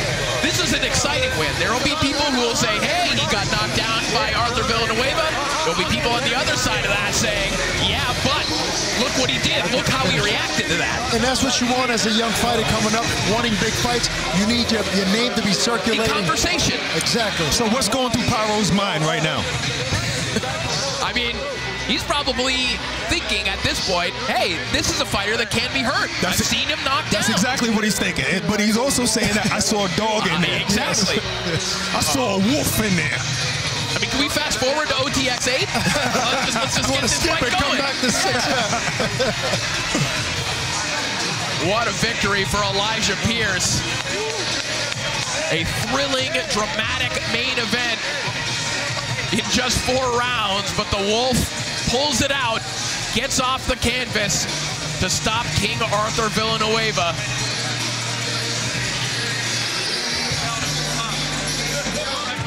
And the man who declared himself the face of OTX boxing. Keeping that knockout ratio high. And he can keep a smile on his face as well here tonight. Inside the OTX ring, referee Malik Waleed steps in and calls a halt to the action with an official time of 2 minutes 57 seconds of the fourth round, declaring the winner by way of technical knockout. Repping the ATL,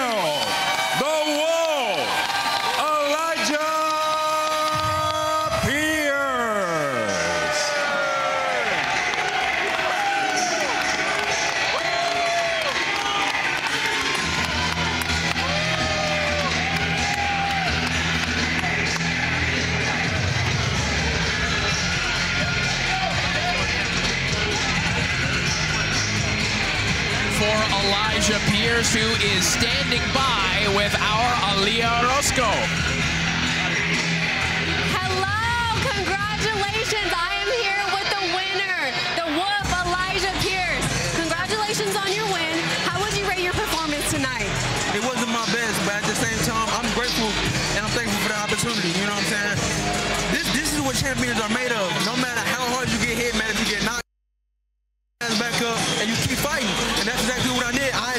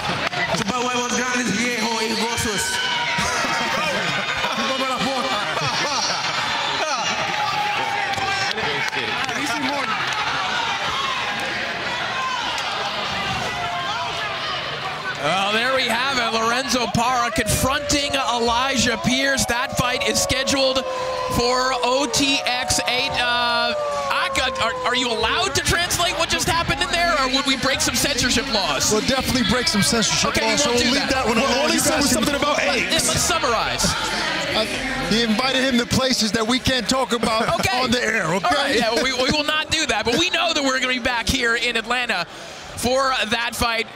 OTX 8, we cannot wait for that one. Elijah Pierce, what a victory here tonight.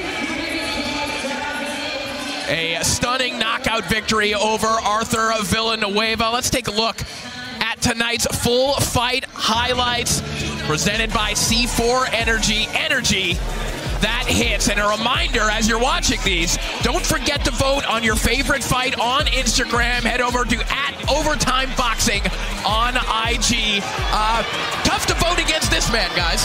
Oh, obviously, the fight of the night, C4 fight of night, is going to be, ooh, this fight right here, where Elijah Pierce almost went out of the ring, got back up, third round took over the fight, fourth round stopped this man. And what's impressive that there was a lot left in that round, oh. Corey, when he was hurt, and he was able to survive the entire round with smart boxing, clinching, holding, and moving his head. This was the last onslaught right here, and that right uppercut sealed the deal. Referee said it's over. Right at the end of the round. Yeah, Pierce just never stopped believing in his power, and I think guys did the right thing by targeting the body and slowing down Villanueva. And at a certain point, he realized it was the right hand that he had to worry about. If he could nullify that right hand, if he could slow Villanueva down a little bit, he could eventually get that back. And that's exactly what happened. Yes. 100%. I mean, I- I'm excited about what's next. I'm surprised to see Parra get in the ring like that.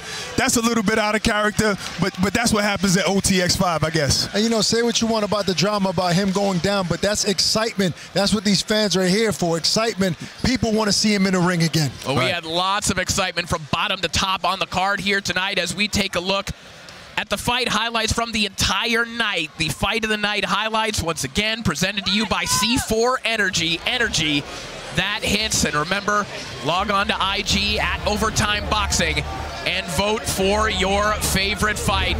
What a night it was, guys. Quickly, other than Elijah Pierce, who is your MVP of the night? I would have to say that woman right there, O'Shea, because you know, yes, it was a rematch. She she knew how to beat the girl already in her debut uh, bout, but she came back and stopped the woman that's never been stopped. Um, for me, I thought I was very impressed with Dante Lane too. His performance.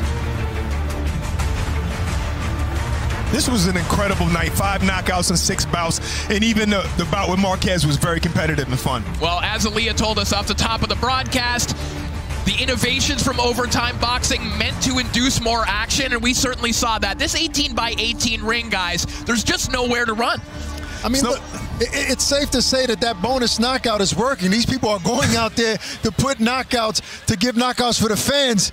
It's one of the best things implemented in boxing in a very long time. I mean, when you tell us, when you tell Akam Barak that you're going to get the guy out in the first round, that's enough pressure right there. That's bigger than a bonus round. but sure. well, well played by Elijah Pierce. All right, guys. Well, we're feeling the pressure to get back there to the VIP, so it's time to wrap things up. It was an exciting night all night long here in Atlanta, Georgia. For my broadcast colleagues, Ak, Barak, Aliyah Orozco, Overtime Tom, and all the wonderful people back in the truck, I'm Corey Erdman saying so long, and we'll see you at the fights. Hey champ, I know why you're here. You're a born winner, the top dog. You have a proper punch on you. It only takes one, eh? But I know you're not all about throwing haymakers. You know your bobs from your weaves, and you know the zone's got over 100 live events every year. Over 100. Proper stack. All the action, the chaos, the comebacks, the non-stop knockout. So get those gloves back on. Together, we're boxing royalty. The zone, undisputed.